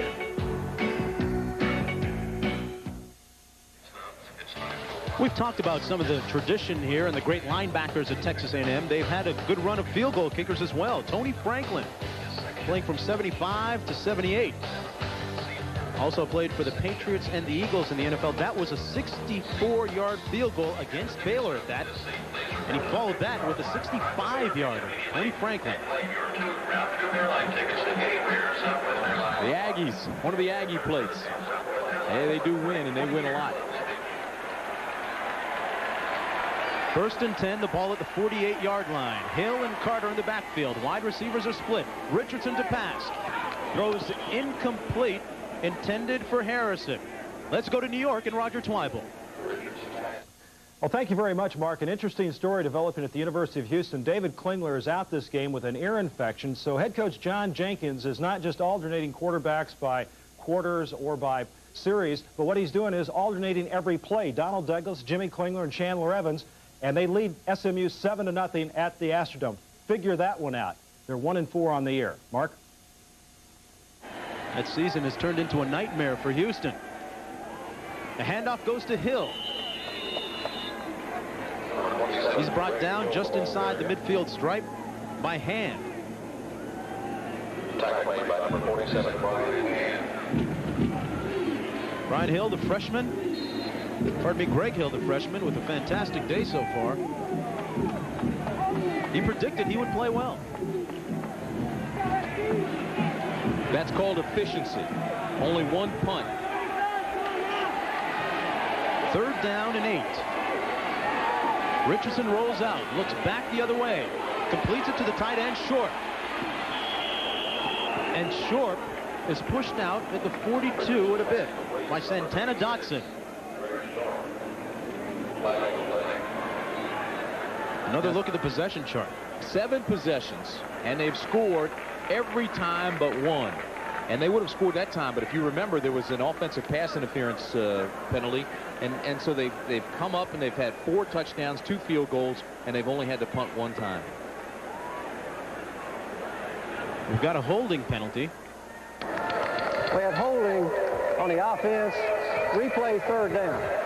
You know what else all those possessions have done? Not only put points on the board, but they've also, as we talked about, melted the clock. A&M has had the ball over 20 minutes to only 13. Look at Bucky. Bears. Look at Bucky Richardson. A&M staff feel that he can play quarterback in the NFL. Third and 13. Randy Simmons. with him after seeing him today. Randy Simmons in the backfield for the first time this afternoon. Hill goes in motion. And they throw it. They're looking deep off the pass. It's incomplete. I got to tell you something. Brian Mitchell, he threw a good pass early in the ball game back to Richardson, but that pass right there was bad. you know what? His teammates, we can laugh about it because of the score of the game, but his teammates are going to watch this in films, and they're going to get all over his case. Look, he's even laughing. He says, I know it was bad. They will dog him out for that one. Fourth and 13, one of the few punts on the day now for Texas A&M. David Davis will kick it to Frankie Smith. Davis is a walk-on from Luke, Texas. Luke, Texas has a population of 250 people, and he didn't even win the starting job there until his junior year. Tough school. A high driving kick that lands at the 16-yard line. We have a flag on the play. No, I don't think we do. Looks like he got face mask. I don't think so. A 40-yard punt and four yards on the return.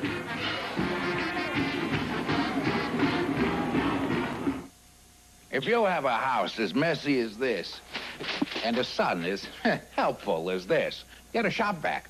Look at the power this baby's got. A shop vac wet dry picks up everything from nails and wood chips to broken glass to gallons of water. Thanks for the car, Dad. Yep, there's no telling when you'll need the power of a shop vac. Don't forget to get Steam Team, the attachment that turns any shop vac into a powerful carpet cleaner.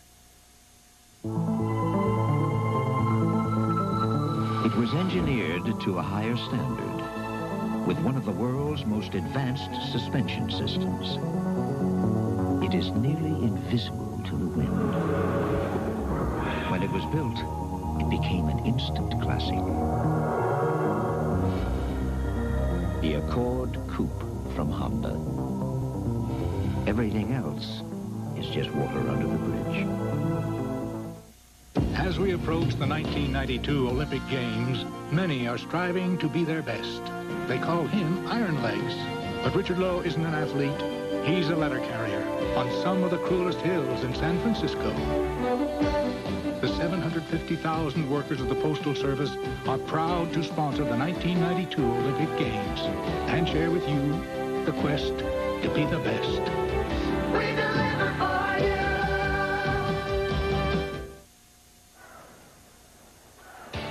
Well, just across the road from our hotel, you can see the Waco Suspension Bridge, built in 1870. Exactly the first suspension bridge west of the Mississippi, the prototype for the Brooklyn Bridge. You know, for many years, it was the longest single-span bridge in the world. The bridge was certainly the first to be constructed across this state's longest river, the Brazos. First down and 10 for Baylor. The ball on the 20-yard line. Joe back to pass. Complete to Bonner.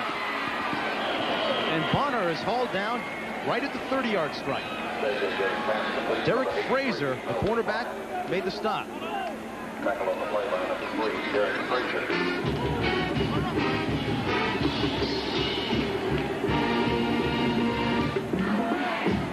Arkansas beats Texas. They missed a field goal. The Longhorns did. That's the 73rd and final meeting for those two teams. What a tradition that has been. Texas with a 54 to 18 edge, but they lose today. First and 10. Give to the fullback. The little or no gain that time. Number 20, Robert Strait, the carrier. England making the tackle. Next week, Mississippi State against Auburn, plus other regional coverage on ABC, all beginning at 3.30 Eastern Time, 2.30 Central. The game you'll see in this region is Mississippi State and Auburn. Well, Michigan won again today, 24 to 16 over Indiana. Desmond Howard, the Heisman Trophy uh, candidate, another big day for him. Texas A&M here has been some kind of hot. Second down and 10. Joe back to pass. Looking for Bonner. He was bumped and was impeded, but there's no flag on the play. He was bumped by Derrick Frazier, good man-to-man coverage guy in the defensive secondary. And Patrick Bates was back there as well, free safety. Here it comes now. Once they get down to the 45-yard line, you see right there, he runs right into the back of Frazier. He wanted it, Bonner did, but you know, once that ball is in the air, the secondary, defensive secondary, has as much right to it as, as the offensive guy.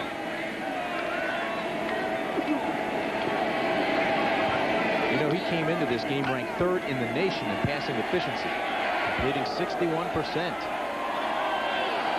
Third and 10. Joe to pass again, under pressure, the screen, incomplete for Mims. Marcus Buckley's looking at himself right now saying, oh, I almost had it.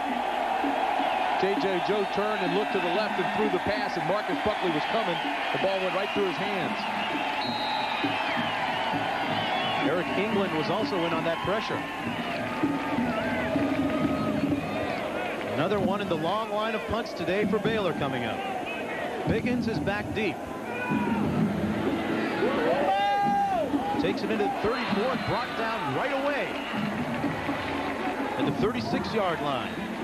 A 36-yard punt. The tackle by David Lowe. 8.24 to play. Texas A&M having their way.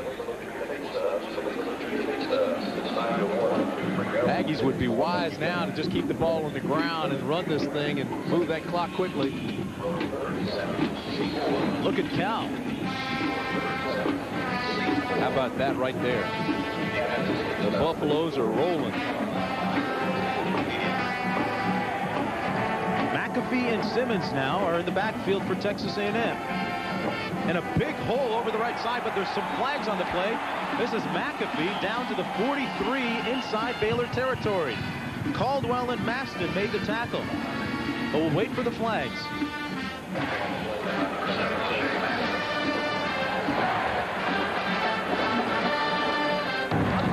We have offside on the defense. Penalty decline. 22 pickup, 22-yard pickup by Keith McAfee. He had some preseason hamstring problems, which slowed him down. He's got a five-yard average every time he carries the football, and he's a senior. McAfee out of Garland, Texas. First down and 10. Ball at the 43.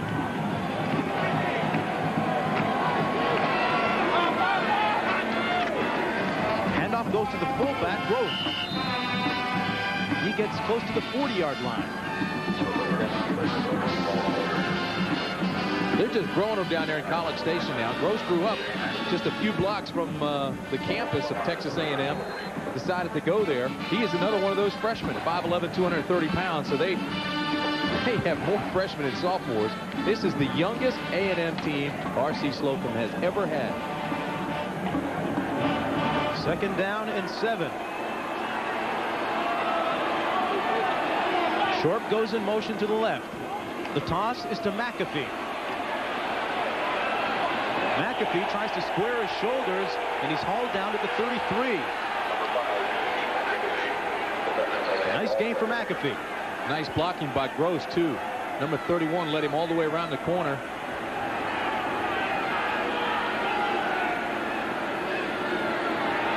Look at Le'Shai Maston, their leading tackler coming into the ball game, limping. Relatively quiet this afternoon.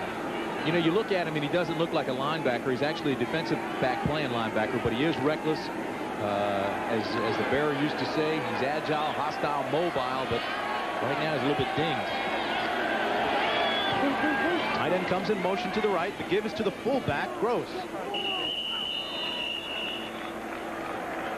Let's go back to New York and Roger Twibell for some scores. Well, thank you very much, Mark. Colorado at Oklahoma.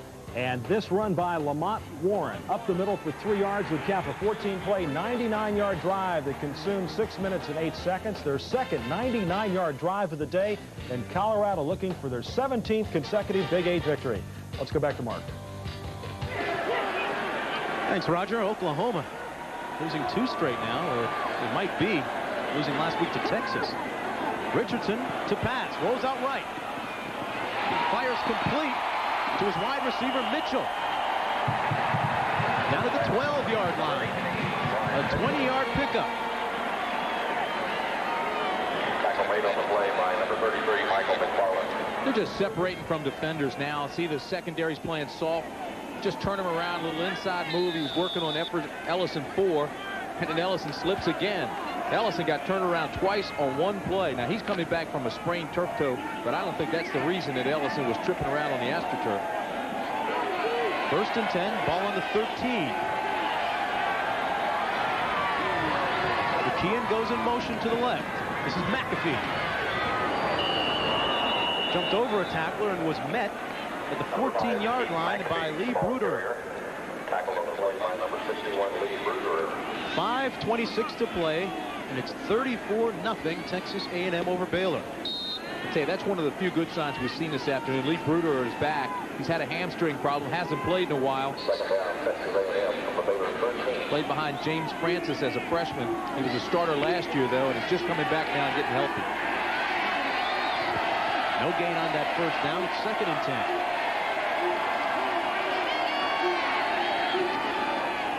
Handoff is to McAfee. Works his way up the middle to the 12. Number five. Santana Dotson. One of the few tackles that he's made this afternoon, conspicuous by his absence. Watch number 77. He has been quiet, shakes off the block this time, makes the tackle. You know, Dotson's dad, Alphonsus, played for the Raiders. Lives now in Acapulco.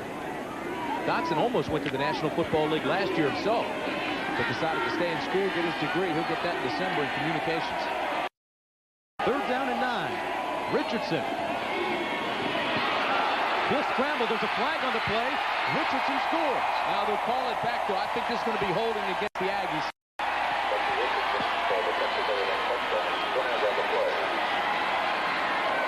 They have holding on the offense. 10-yard penalty, replay. How about this? Penalty was called on Tyler Harrison. Well, he's playing with a broken hand today. I don't excuse him, but you see, he hits high, loses his block, falls backwards, does everything he can, then just grabs his leg. That wasn't much of a hold if it was a hold. You have to wonder how Texas A&M lost to Tulsa. You know, this club is only one point away from being unbeaten. Third down, 23 yards to go. Is all the way back to 26. Richardson, pressure. Eludes a tackler and is tripped up at the 28, and another flag goes down. Boy, I'm telling you, Santana Dotson came through, got the pressure on him, and then old Richardson just ducked right under it. Bucky Richardson is having a terrific day. Now look at 77. That's Dotson. Here he comes. He better break down. He's got him by the back, and then Richardson says, whoops, turns and goes the other way. Boy, he's talented. And very strong as well. Actually one of the strongest members on that A&M squad. We have clipping on the offense. 15-yard penalty. Replay third down. I thought it was interesting when John David Crow was saying they were going to push Richardson for the Heisman. They really believed that he's that good and that he should win the Heisman. But then he came out and he had that sprained arch. It wouldn't go away. He was injured the entire first half of this season and then got the turf toe. Third down and an eternity. 38 yards. Out of the shotgun. Almost blindsided. Richardson gets it away. It's picked off by Walker. Walker tightropes his way down inside the 35. He stepped out of bounds. Actually, at the 40-yard line, they're marking it now. One of the few miscues this afternoon. Frankie Smith gets his third interception of the year. Richardson could feel the pressure, never really did push off that back foot because of the pressure. Just put it up for grabs, woefully underthrown. And Smith read it and brought it back in a hurry, or Walker rather read it and brought it back in a hurry. Now, he played against Houston in place of Frankie Smith because Smith was hurt. So Walker stepped in and played against Houston, and he comes back and he gets the pick here. So it's first and 10 on the Texas A&M 41-yard line for J.J. Joe. Bonner in motion to the left. He gives to the fullback, Robert Strait, who powers his way down to the 36. And Eric England hauls him down.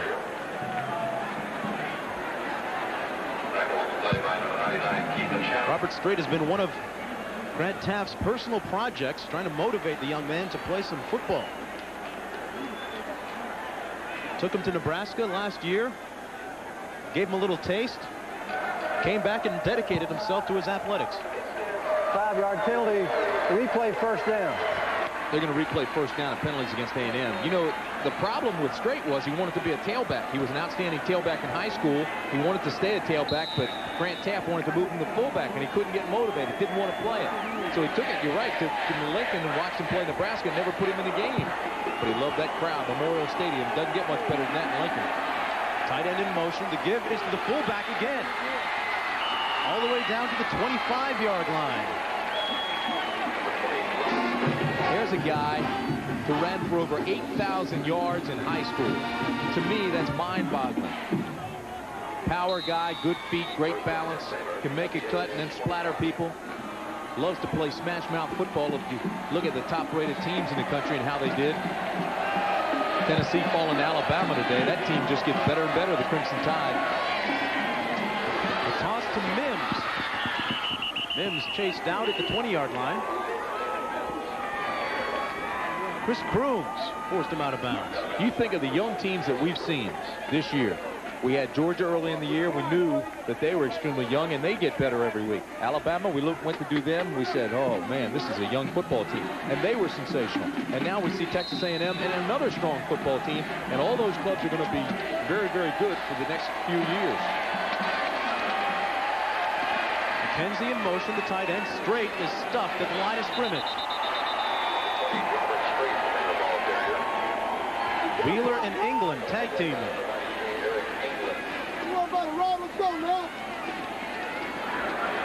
Set up third and five now for Baylor.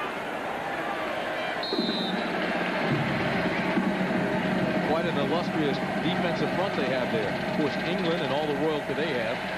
Patrick Henry and Sam Adams all on the defensive line. A lot of history there. History worth its weight in gold today. Third and five. 2.15 to play in the third quarter. Joe gives the Strait. Down to the 15. But Quentin Coryatt stops him. this one is first A&M defensive coordinator Bob Davie said yesterday that the Aggies had to be very, very physical today, and they have been that. They said, Bob Darius said he had to stop the run first, and then that the secondary couldn't overcommit. In other words, don't come up too quickly to stop the run and let somebody throw behind you. And they didn't do that. They've been very effective on pass defense, but up front they've been physical. Great game plan by Bob Davie. The secondary weighted one of the best in the nation. Fourth down and one for Baylor. You know what that means? Don't let them get a yard. Two tight ends in the game. Strait. And he's got the first down. Yeah, see, they didn't listen to Bob Davis. All that signal, that meant don't let them get this yard. And they got it. You'd think they'd be pitching for the shutout.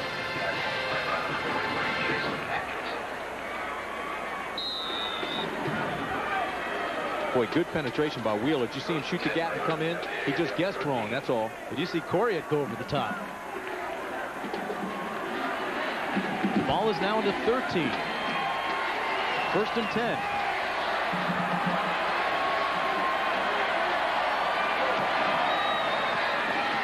To give is to Henry this time. The up back. He fights his way down to the 10.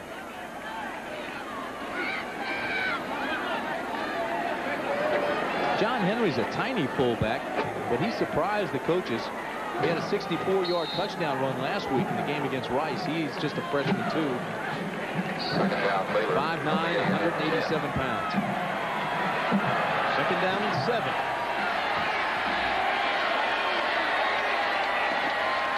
Pearson motion to give up the middle to Strait. Adams on the tackle. As time winds down in this third quarter. It's been all Texas A&M this afternoon.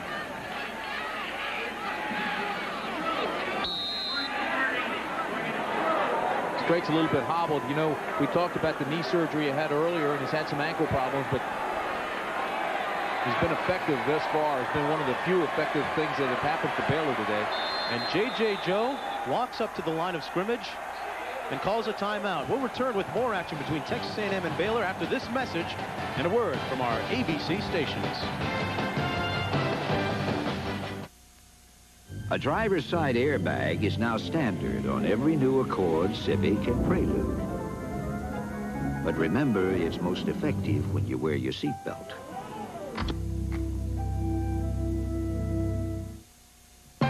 Professional service, a friendly face. It's your Big A Pro. keeps your car running right. The energy to go further. We share that energy at Texaco, creating products like System 3 gasoline and Havoline Formula 3 motor oil. Performance that goes as far as it can and then goes even further. With the highest resale value in its class and proven Honda reliability, the Accord is a safe place to put your money.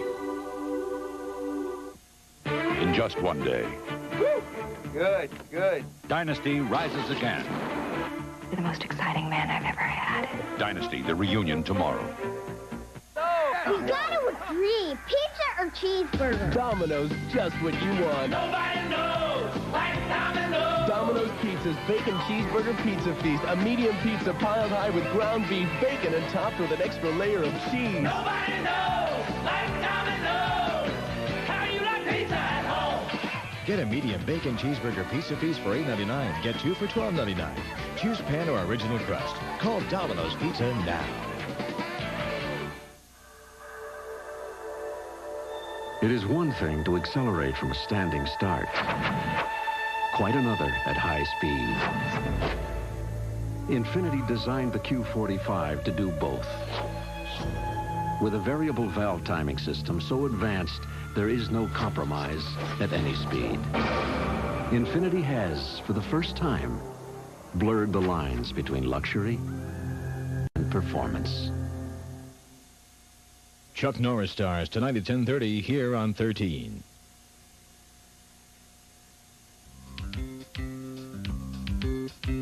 The students here at Baylor are just so eager and willing to learn. You get a lot of personal attention in class, and that's what I think really makes the difference. Most of your classes, you only have about 20, 25 students. The professors go out of their way to get to know the students, even in large classes. And the campus is very compact, so all your classes are close together. The question is, is if you want to be one in 60,000 at a large college, or if you want to come to Baylor and be more than just a number.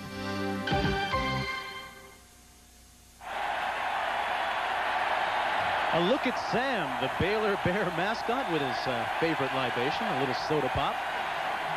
Getting a little early start on the celebration, didn't he? Hitting that bottle hard. Boy, this is the kind of defense now wants to keep that goose egg on the on the board. They're playing for pride down there, even though they have a 34 nothing lead.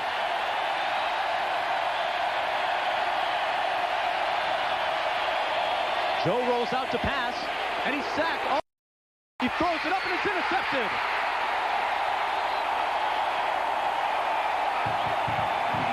Sam Adams picks it off. That's what you talk about defensive pride. They didn't want to let him in the end zone. They got the pressure on him first. Joe throws it away, and Adams picks it off. It might have been better to just to take the sack. Well, Bonner was open. You see here, he comes clear in the end zone. Runs past the safety. But the problem was, J.J. Joe never had a chance. Now the pressure's coming right now. Bang, here it comes. Now he's got to unload it. He does. And here comes Adams.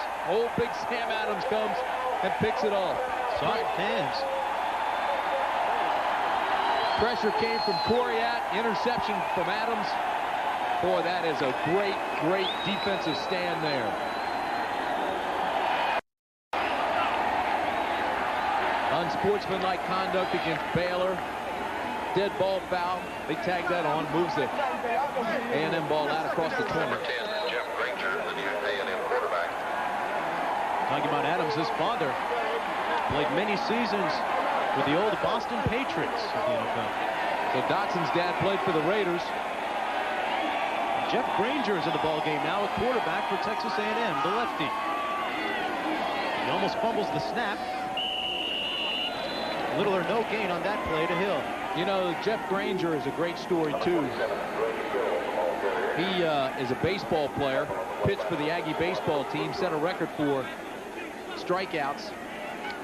He's an All-American, played for the Team USA, the Pan Am Games, drafted by the Twins, but decided to play football, so he came to A&M.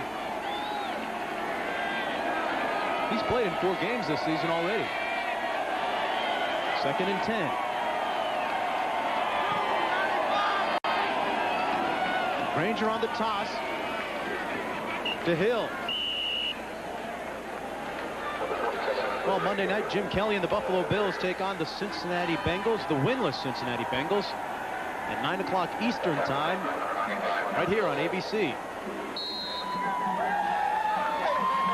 Bruce Smith of that Buffalo team hobbling a little bit, more than a little bit. How about Kelly? He got knocked silly last week. Frank Reich came in, and they didn't miss a beat. Third down and nine now for Texas A&M. They lead 34 nothing.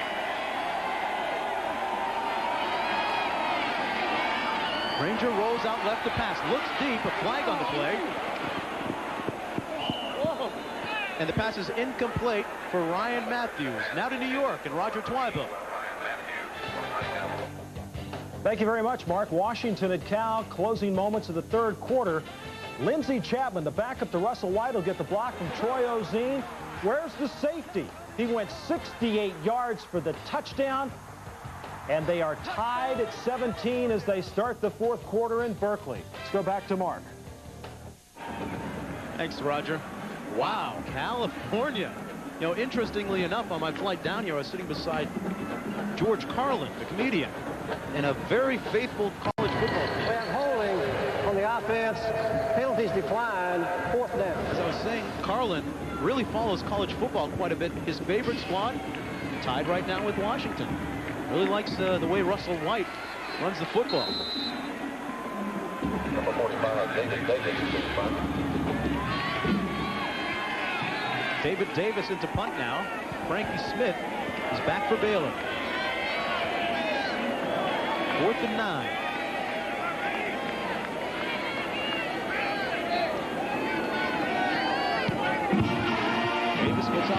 High kick. Lands at the 45.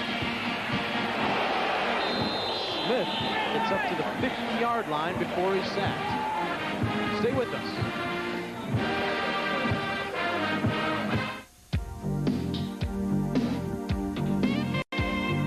It's about style.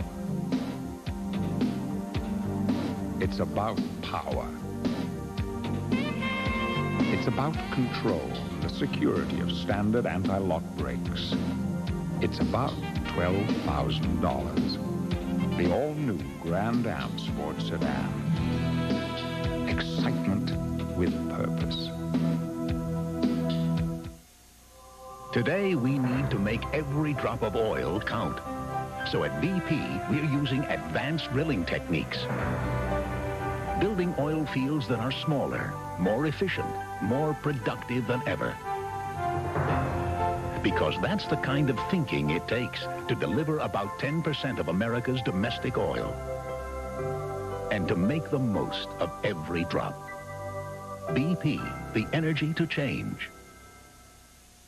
This is a commercial for this clever little portable CD player from Magnavox, the inventors of CD technology. I'm sorry, actually, this is a commercial for the ingenious Magnavox 13-inch TV with a built-in VCR. I'm sorry, this is really a commercial for this brilliant 50 TV with 100-watt Dolby surround sound. I'm sorry, wrong again. This is supposed to be a commercial for this Magnavox 386 notebook computer. Hang on, we haven't finished. Oh, I'm sorry. The ingenious products from Magnavox. They're smart, very smart. Michigan State battles Ohio State. UCLA invades Arizona State. Plus other key conference matchups next Saturday on ABC's College Football. Baylor faces in the crowd today as we look at the largest margin of victory in the Texas A&M Baylor game, 53 to nothing back in 1912. The series began back in 99. 34 nothing, 13-19 to play in the fourth quarter. Joe still in at quarterback, play action. And I'm not sure that he fooled Coryatt. In fact, I'm sure. I'm sure he didn't. That's good. Coryatt doesn't take this fake at all. Watch this now. 44. Just comes on in, doesn't take the fake. And JJ says, uh-oh, I'm in a whole lot of trouble now because here comes the support. And the support just took him down. But all you have to do is go to total yards, 394 of them, and time of possession. Almost 26 minutes. Texas A&M had the football. Bonner in motion to the left. A toss by Joe to Greg White. Back up halfback. White 5'7", 185-pound junior from Waco, Texas. Dragged down by Chris Crooms.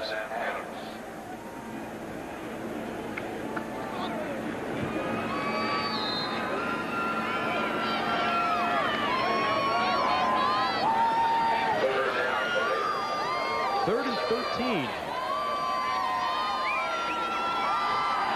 happy Texas A&M fans on hand.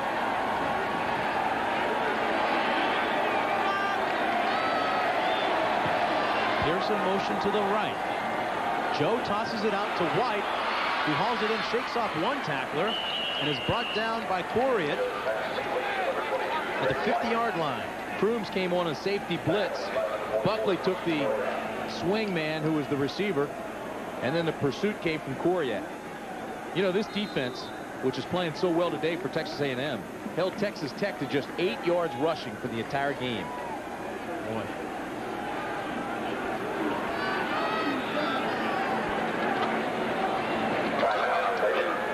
Baylor calls timeout. With 11.57 to play in a long afternoon of the Battle of the Brazos.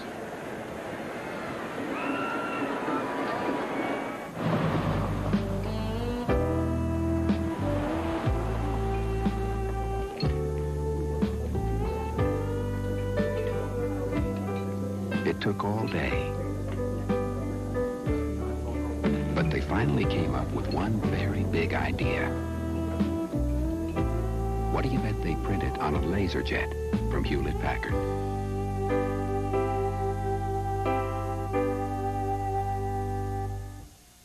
Since we became employee-owned, I think there's a far greater... Joe to pass.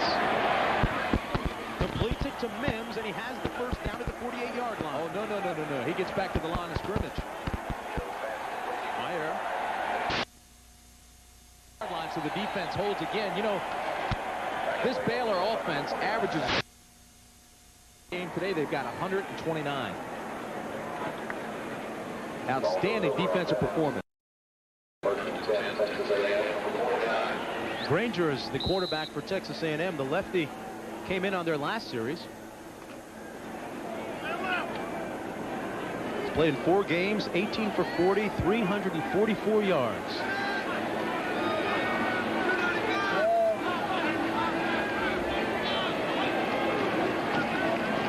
hands off to the fullback, Simmons. And Simmons does not want to go down. First and 10. Texas A&M on the 28. Simmons. Gain of one yard. McAfee that time.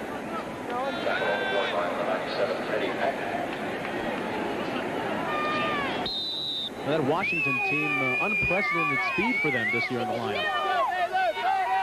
They are quick sideline to sideline, great speed the running back position as well. Second down and 10. Simmons is the fullback, McAfee the tailback. The toss to McAfee. He's brought down at the 29. Albert Fontenot came through, and I mean, he put a hit on Granger way after the play was over.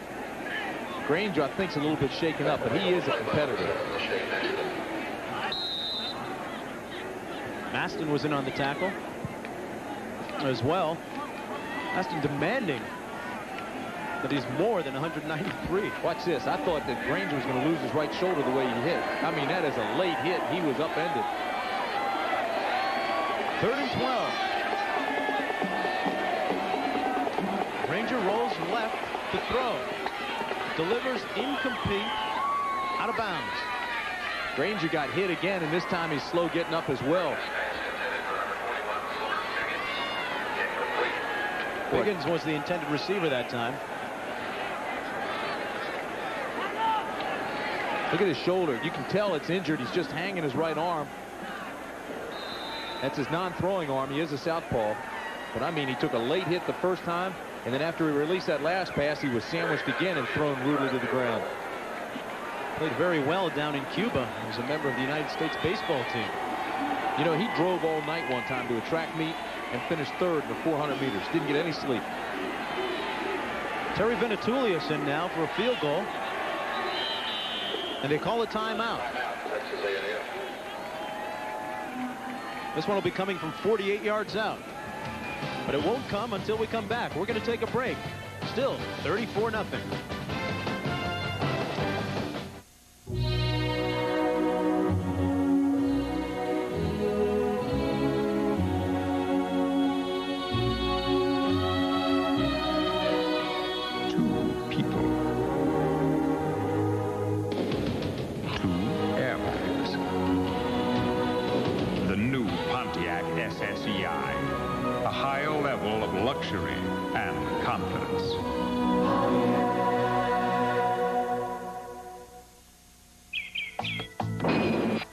Business morning, while the rest of the world is getting up.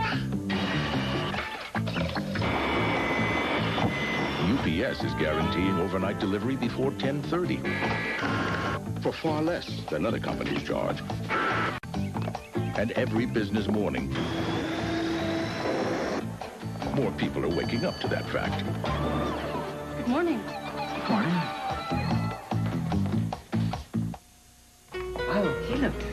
Scarier 25 years ago. Did I? You looked scared. I don't know. I thought I hit it well for an innocent girl. You were innocent for the 60s. Any regrets? None. You? Just one. What? That I waited 25 years to give you this. The 25th anniversary diamond, a brilliant celebration of the loving marriage. I've got goosebumps. Well, you've given me goosebumps for 25 years. Well, time permitting, stay tuned for the Thrifty Car Rental post-game report with Roger Twibell and Bo Schembechler featuring scores and highlights from a busy Saturday afternoon. They've been working on Granger's shoulder the entire time out.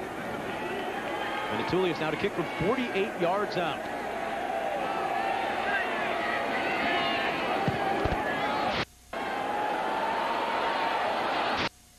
Comes up about two yards short. Looked like he hit it a little bit low. After going two for two on the day, Venetoulias misses his first.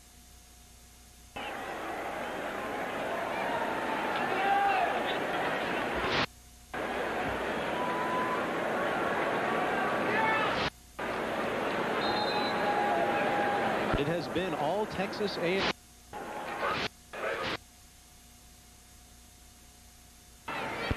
First down and 10. The ball the 30. J.J. Joe still the quarterback. Takes the handoff and rolls. Downfield incomplete for Reggie Miller, who got popped for good measure. Took a pretty good leap from Kevin Smith. Kevin Smith, of course, the cornerback we've been talking about, Thorpe Award candidate. Caused two fumbles this year, recovered two more.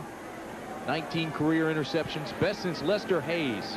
Now started 30 consecutive games. He is tough and durable. You know, as, I, I was just going to say that he was 5'4", 120 pounds in the 10th grade. Then did some serious growing. He's only 6 feet, 180 now. Big enough to play in the pros, though. He was talking the talk before the game about shutting down Bonner, and, well, he's walked the walk this afternoon. Joe to pass. Throws, and it's broken up by Derrick Frazier. The other cornerback.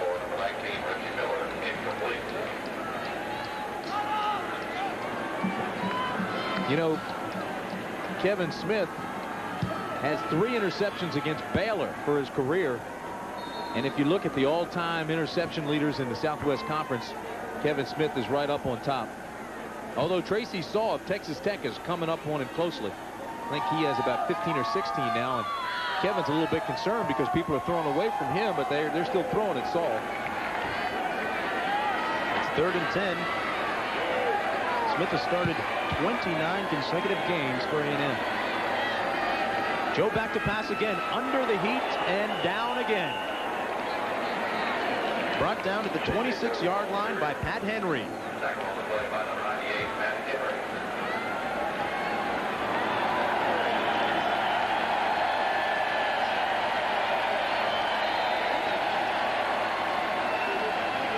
three people outside. The guy was supposed to walk out. Brentham comes in to punt now for the Bears. Wilbert Biggens is back. Biggens standing at his own 30-yard line. Nice high kick. Biggens fumbles it.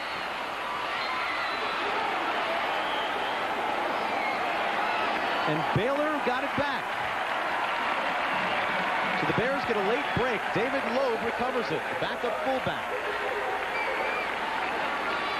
Boy, Biggens will hear about this from the defense. Defense is pitching a shutout today. They don't want to give Baylor good field position down here, deep in their own territory.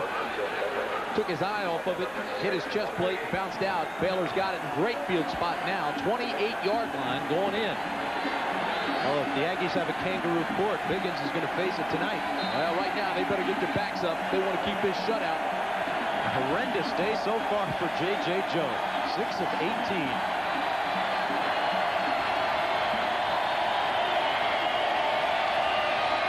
They blitz. Joe picks it up, throws to the sidelines, complete to Reggie Miller.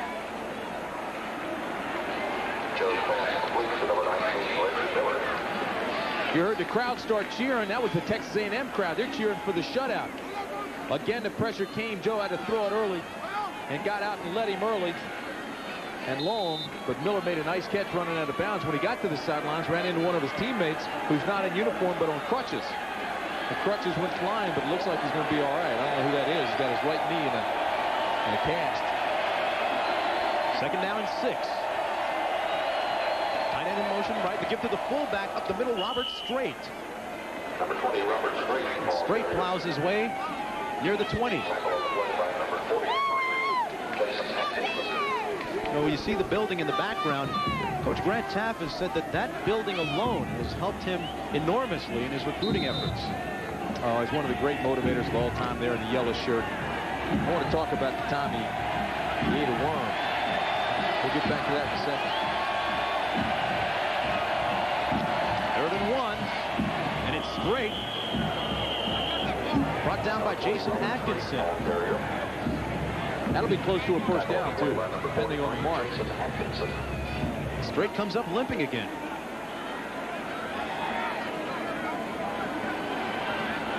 Strait now going to the sidelines. 8.04 remaining. Tim, at this point, if you're Coach Grant Teaff, do you keep your starting quarterback, J.J. Joe, in a ball game that's pretty much out of hand? Well, I would, absolutely. You know, Teaff's a competitor. I think anybody that's a competitor has been embarrassed today. They want to get on the scoreboard. It's going to be about a yard shy of the first. J.J. Joe, a very durable guy. He's the key to your entire attack. And Steve Needham's not the guy, so I would definitely stay with J.J. Joe.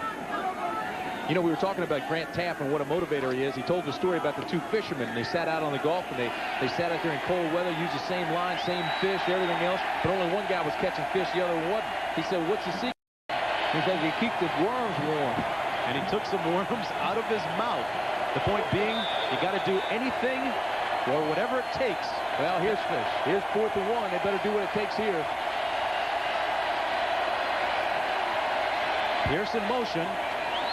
Joe gives it to the fullback Strait, who Great. keeps his balance and rumbles down to the nine-yard line. Great, second balance. effort. Great call, great balance. You're not kidding. They came off the right side. Got a good push out of there by Jones and Bellamy. Now one Strait broke one tackle. He knew if he could keep his balance, he not only had the first, but had a chance of breaking it. Took down inside the 10. You know, you told, he's approaching the 100-yard mark. He's got 93 yards today. First down and 10.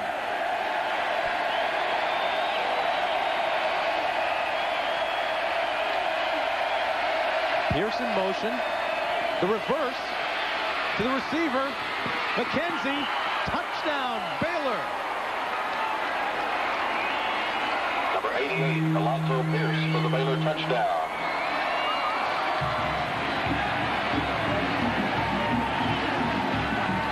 Pierce go in motion. Pierce comes back around and takes the pitch. Trying to do is catch A&M over pursuing, and they did that. There was nobody there to contain, and Pierce took it in for the touchdown. That's a well-designed play. Grant Teaff told, about it, told us about it yesterday. We thought we'd see it early. And now they go for two points on the conversion. Joe gave it to Henry that time. And he stopped far short of the end zone. But they break the donut on the scoreboard and get a touchdown.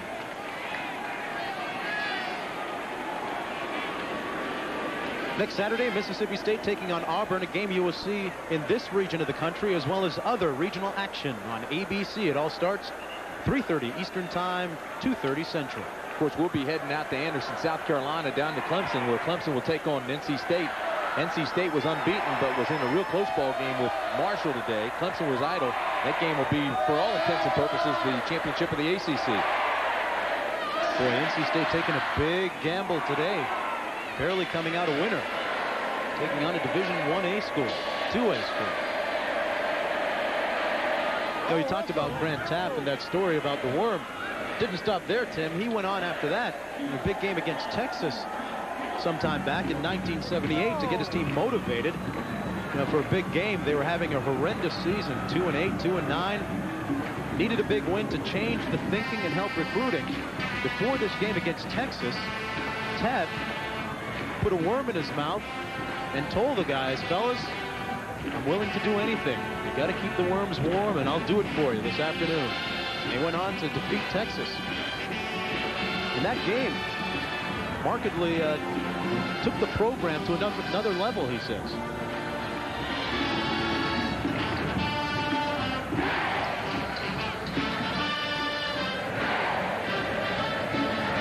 Two of the most congenial coaches you'll ever meet on the field today. R.C. Slocum. Fantastic coach, as witnessed today by his Aggies. Great person. A&M setting up for the onside kick here. Team in.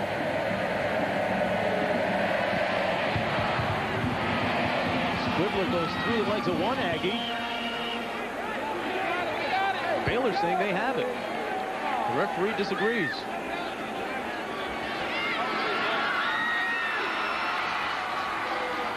Texas A&M now has scored at least 34 points in its first four games. How about that? Boy. Here it is again. There's no question about it in the official's mind, but Baylor players are still arguing. Took the high snap just like they wanted. There's the ball. It's loose. The cover guys come down the outside lane for Baylor. And the official immediately signaled Aggie football. It's been an Aggie kind of day. Now they have a new quarterback in, Kent Petty. Well, you don't want to go back with Bucky Richardson, and Granger hurt his shoulder. Kent Petty takes over at the 48.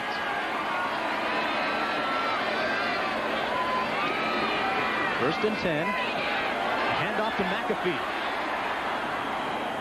Good lateral movement there.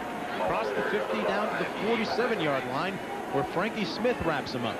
Kent Petty is a 6'3", 203-pound junior. Two-year letterman. He's out of Dallas, Texas, went to Lake Highlands High School.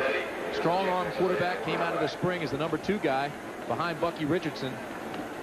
That's before Granger came in. Look at that. Victors go to spoils. 6.30 to play. Petty hands it off to McAfee. McAfee stopped at the 48-yard line by Bruderer. Petty's a former walk-on. Developed into a solid backup. He actually got into the Holiday Bowl. Saw action in four games as a freshman.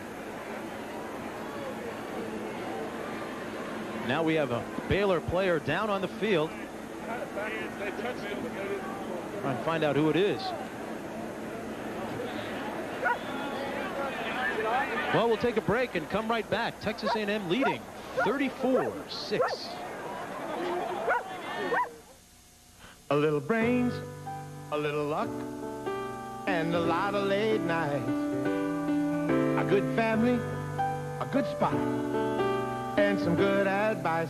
That's the way it's supposed to be. And USF and G standing behind me. That's the way it's supposed to be. And USF and G standing behind me.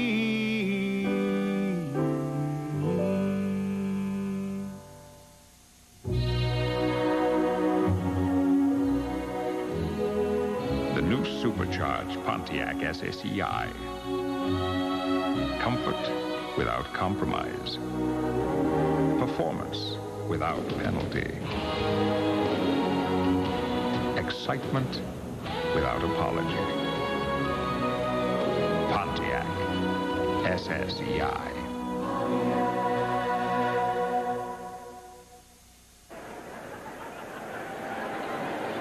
Welcome back, everyone, to Waco, Texas. Texas A&M leading Baylor 34 to 6. The injured player that was down on the field just moments ago was Le'Shai Maston, the linebacker for the Bears.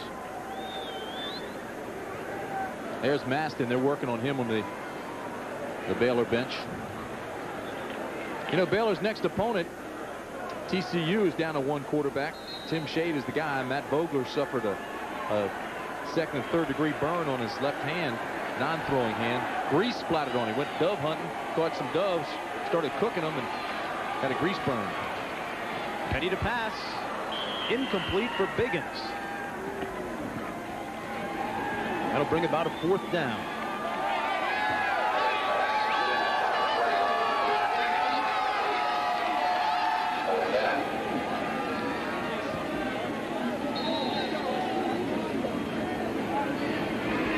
Davis into punt.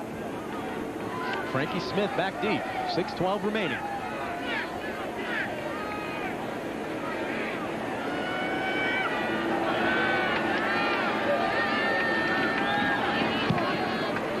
Gets off a nice kick.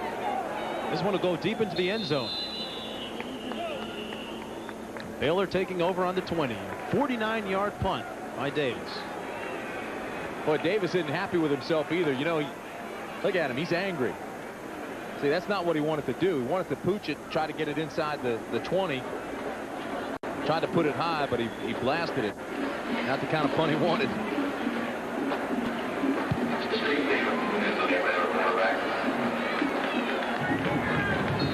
Steve Needham now comes into the ball game, replacing quarterback J.J. Joe for Baylor. Needham is a six-foot, 191-pound junior.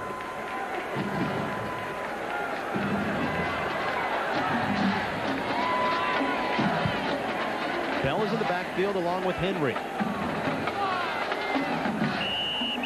And a flag on the play.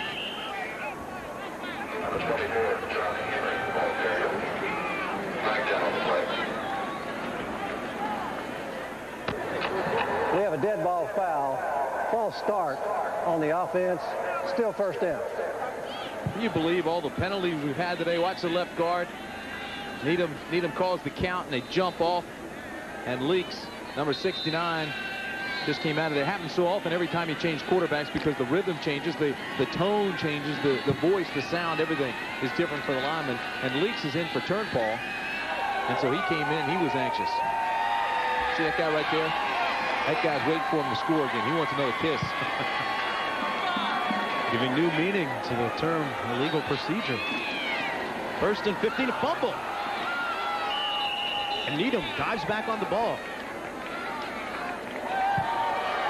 Now we want to know, can you or can't you if there's no scoring play involved? Well, they're, they're trying to decide right now.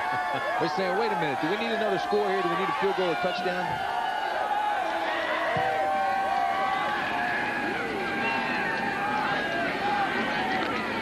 Five thirty and counting. Fourth quarter.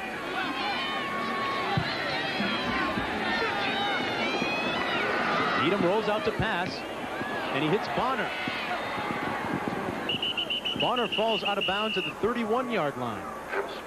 And stops the clock.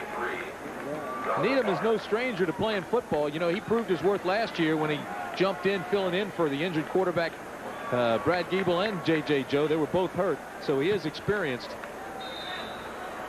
This time he rolled right, just let the receiver clear underneath Bonner. Bonner with 4-2 speed. Needham to pass again, hits the same man. Steps out of bounds. You know, Grant Teaff does not believe, interestingly enough, in timing his players in the 40-yard dash. Well, there are some other coaches that, that believe that too, but you're right. It is it is interesting and a little bit unusual, but uh, especially since he's a former track guy. You know, he was a head coach in college, a track coach when he was 23 years old, but he says all he wants is quickness. He knows he's got them. Why time them? All he wants to do is make them faster than they already are. Second and one. Needham keeps it himself. Gets out to midfield where he took a lick and a flag comes down now. Patrick Bates, the free safety, rocked his world.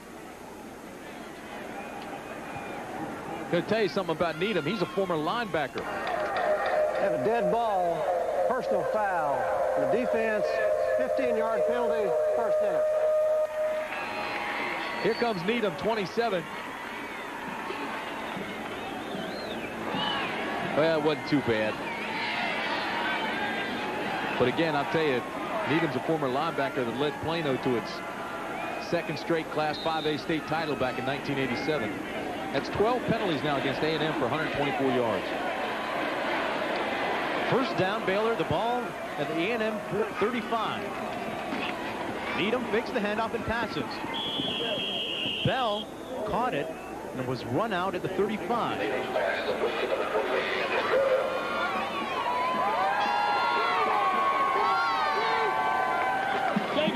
Oklahoma struggling now, losing two games in a row.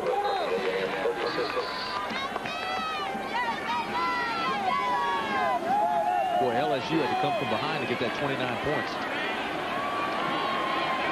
Second down and 11. Needham on the toss. Bell chased out of bounds at the 27. Kendrick Bell getting some work now. Clock stops with 4.42 remaining.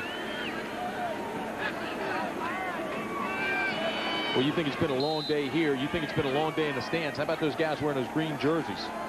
And they're going to hear about this for a long, long time. Grant Teaff pacing the sideline still. Needham on the toss.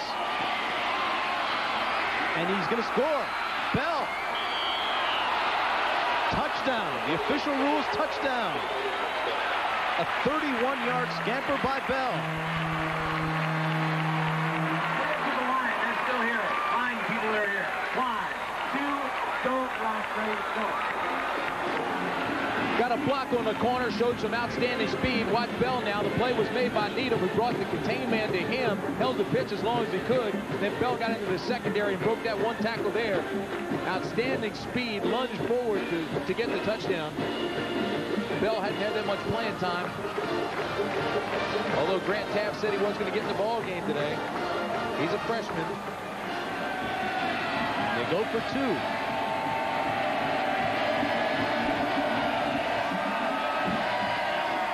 He gives it to Henry, and he doesn't get in the end zone. I don't think Needham wanted to give it to him. They tried to pull it back out, and Henry wouldn't release it.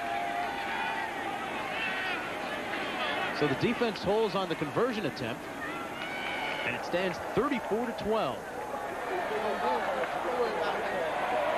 Really had a nice time visiting with Baylor head coach Grant Teaff yesterday.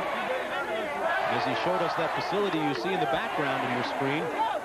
Teaff was walking around like a proud daddy, wasn't he? Well, Baylor has spent $24 million over the last five years to improve facilities. What they want to do is be able to recruit competitively against the bigger schools. They want to be able to go up against Texas. They want to be able to go up against and get the quality players. And he was having trouble doing that when he didn't have the same type of facilities. So they improved them, as you can see right there, and they now have some outstanding facilities for the players. Grant Teaff's done a great job. You know, that building doesn't have a name. They ought to name it the Grant Teaff Athletic Facility. There's the second largest crowd in Baylor history, but boy, those folks, half of them are sitting home watching it on television now. They, they left early. This game was over early. There was. A look at the last scoring drive for the Bears. The second one of the day. Baylor won the toss and deferred, so A&M took the football and elected just to run all over the Bears.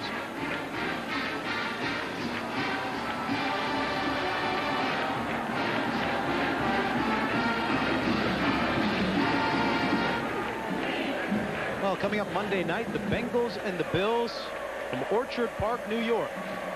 9 o'clock Eastern time. Sam Wyche and the Bengals still looking for their first win of the season. The onside kick now by Baylor.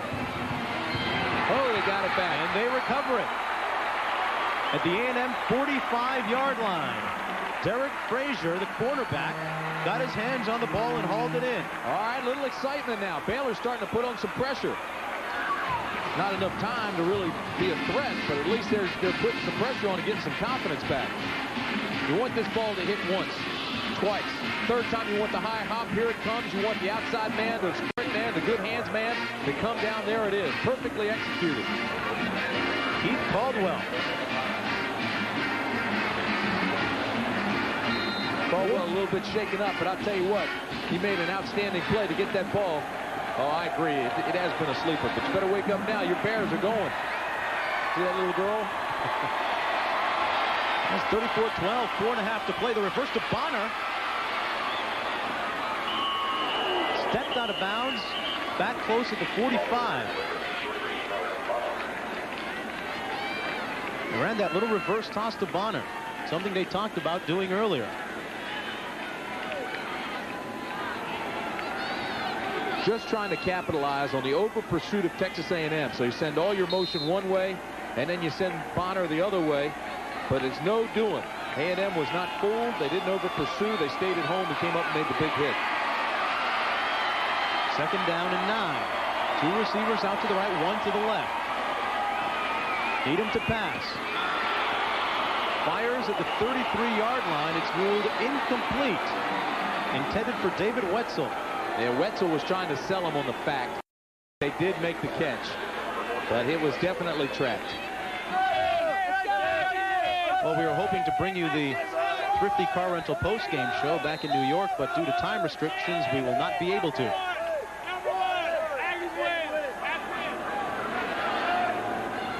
This game has gone on and on and on. 4.19 to play. Third and nine. Glasgow, the tight end, goes in motion to the right. A toss to the halfback, Bell. Bell turns the corner and steps out at the 36. Bell showing some good speed. Free safety Bradbury was trying to come up and make the tackle, and he got outrun on the corner. Boy, look at Miami, 49 nothing. Washington over Cal now, 24-17. How about Alabama beating Tennessee? The Huskers rally against Kansas State. Rutgers finally scored against Penn State. Fourth and one now for Baylor. Two receivers out to the left. The give goes to the fullback, and he appears to have the first down. Bradford Lewis with his first carry of the afternoon.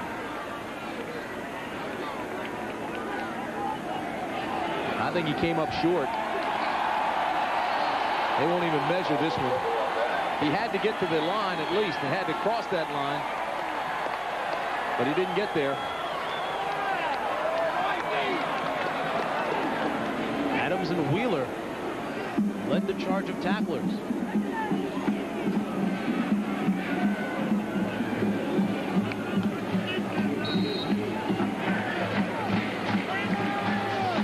It's going to be time for that man to get his charges regrouped. The Southwest Conference season that remains. 4.02 to play. Kent Petty at quarterback for the Aggies. Handoff is to Gross.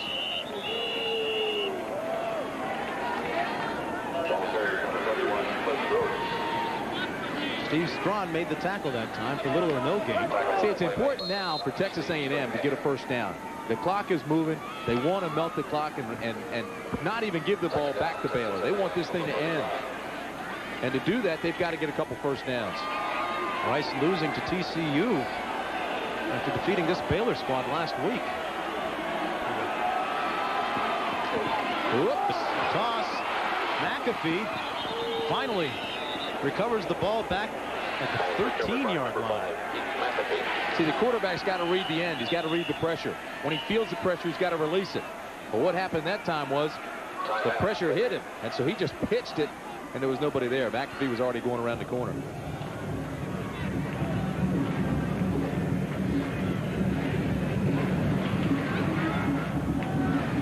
Now Petty goes to the sidelines to have a little chat with head coach R.C. Slocum. Well, when you look back over this game, you look at Texas A&M and you say, well, they came in as a young club with a lot of question marks. And we talked at the beginning about this being the really first significant test they've had all year. On the road against a contender. And boy, I want to tell you something. The youngest club R.C. Slocum has ever had passed with flying colors. Baylor, on the other hand, now having lost to Rice last week and being blitzed today 34 to 12, has to go back and have Grant Teaff, the man right there in the yellow shirt, reevaluate what has happened to his ball club. He came into this season thinking national championship. Now he's just got to think, hey, how do we save the season? They've gone from national championship thoughts to, all right, now that's gone. Let's just win the Southwest Conference and go to the Cotton Bowl. All right, they lose today, now that's gone. Now he's got to think, let's just have a good year. Let's try to get to the John Hancock Bowl. There are representatives from that bowl game here. Third down, 29.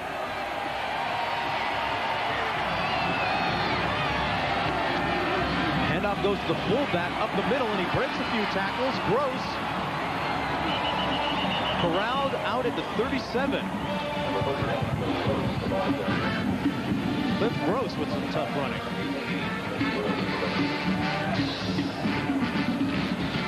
Clock is at 2.55 and ticking. Well, a gain of 23 yards, so that'll bring up fourth down at about eight.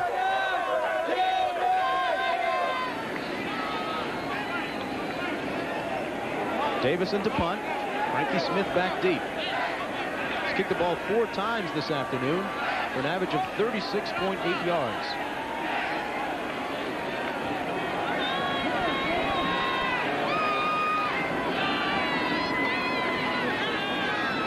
Continues to move. They'll let it move all the way down to the zero. They just want that clock to move, so that'll stop it now with the delay. Dead ball foul, delay of the game on the offense, still fourth down.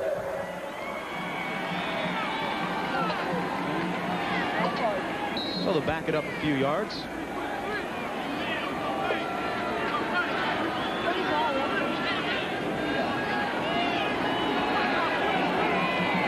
Smith standing on his own 27.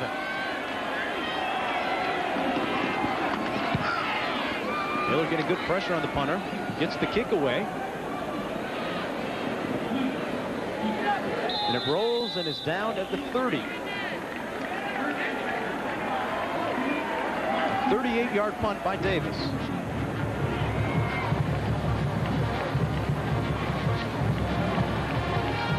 Bucky Richardson, the Texas A&M quarterback, really came out early in this ball game and set the tone, marching his team down the field in the first quarter.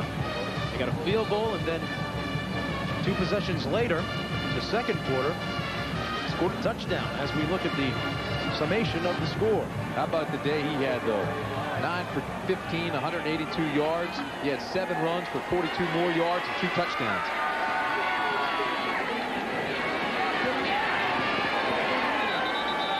Needham now hands it off. Get out to the 29-yard line. Larry Jackson, the linebacker. Pardon me, Reggie Graham. Big win for Fresno State, 42 to 28. They remain unbeaten.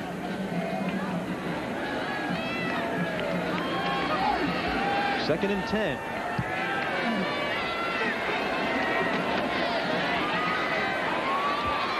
Pass is complete down to the 35-yard line. You know it's a good sign, Mark?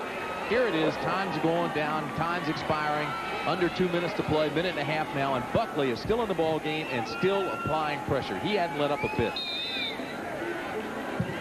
Projected as one of the next great linebackers in Texas A&M. You know, I was talking about Bucky Richardson. I'll explain to you how he got that nickname Bucky just after this play.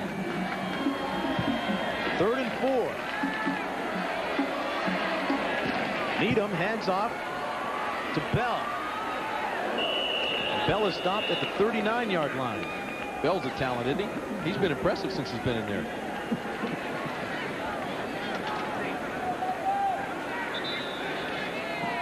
Now, with the win today, Texas A&M improves to 2-0 in conference play, 4-1 overall. Okay, Arkansas beat Texas 14-13. It was a missed field goal by the Longhorns. So now Arkansas, which will eventually move on to the Southeast Conference, leads the Southwest Conference here unbeaten. Texas A&M in great shape because they play Arkansas, Houston, and Texas down in College Station. We'll be back. Even a four-time Super Bowl champion knows to reach your goal, it's important to get the nutrition of whole grain. These guys don't have it. Reedy's does, made with 100% whole grain. So no matter what you're going for, better get your whole grain. Hey, Joe, you're gonna come back for one more bowl? You better believe it.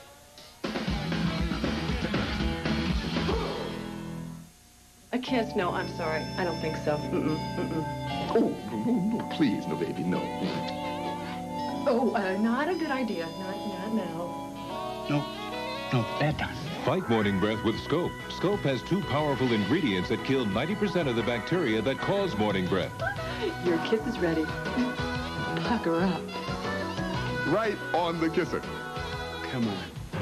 Kiss morning breath goodbye with Scope. Give me that kiss. Welcome back to Waco, Texas. The battle of the Brazos, no battle at all. Texas A&M leading easily, 34 to 12, as they take over on downs. 42 seconds remaining in the ball game. Look at a happy R.C. Slocum. Yeah, see that 42 seconds, that's celebrating time for these guys.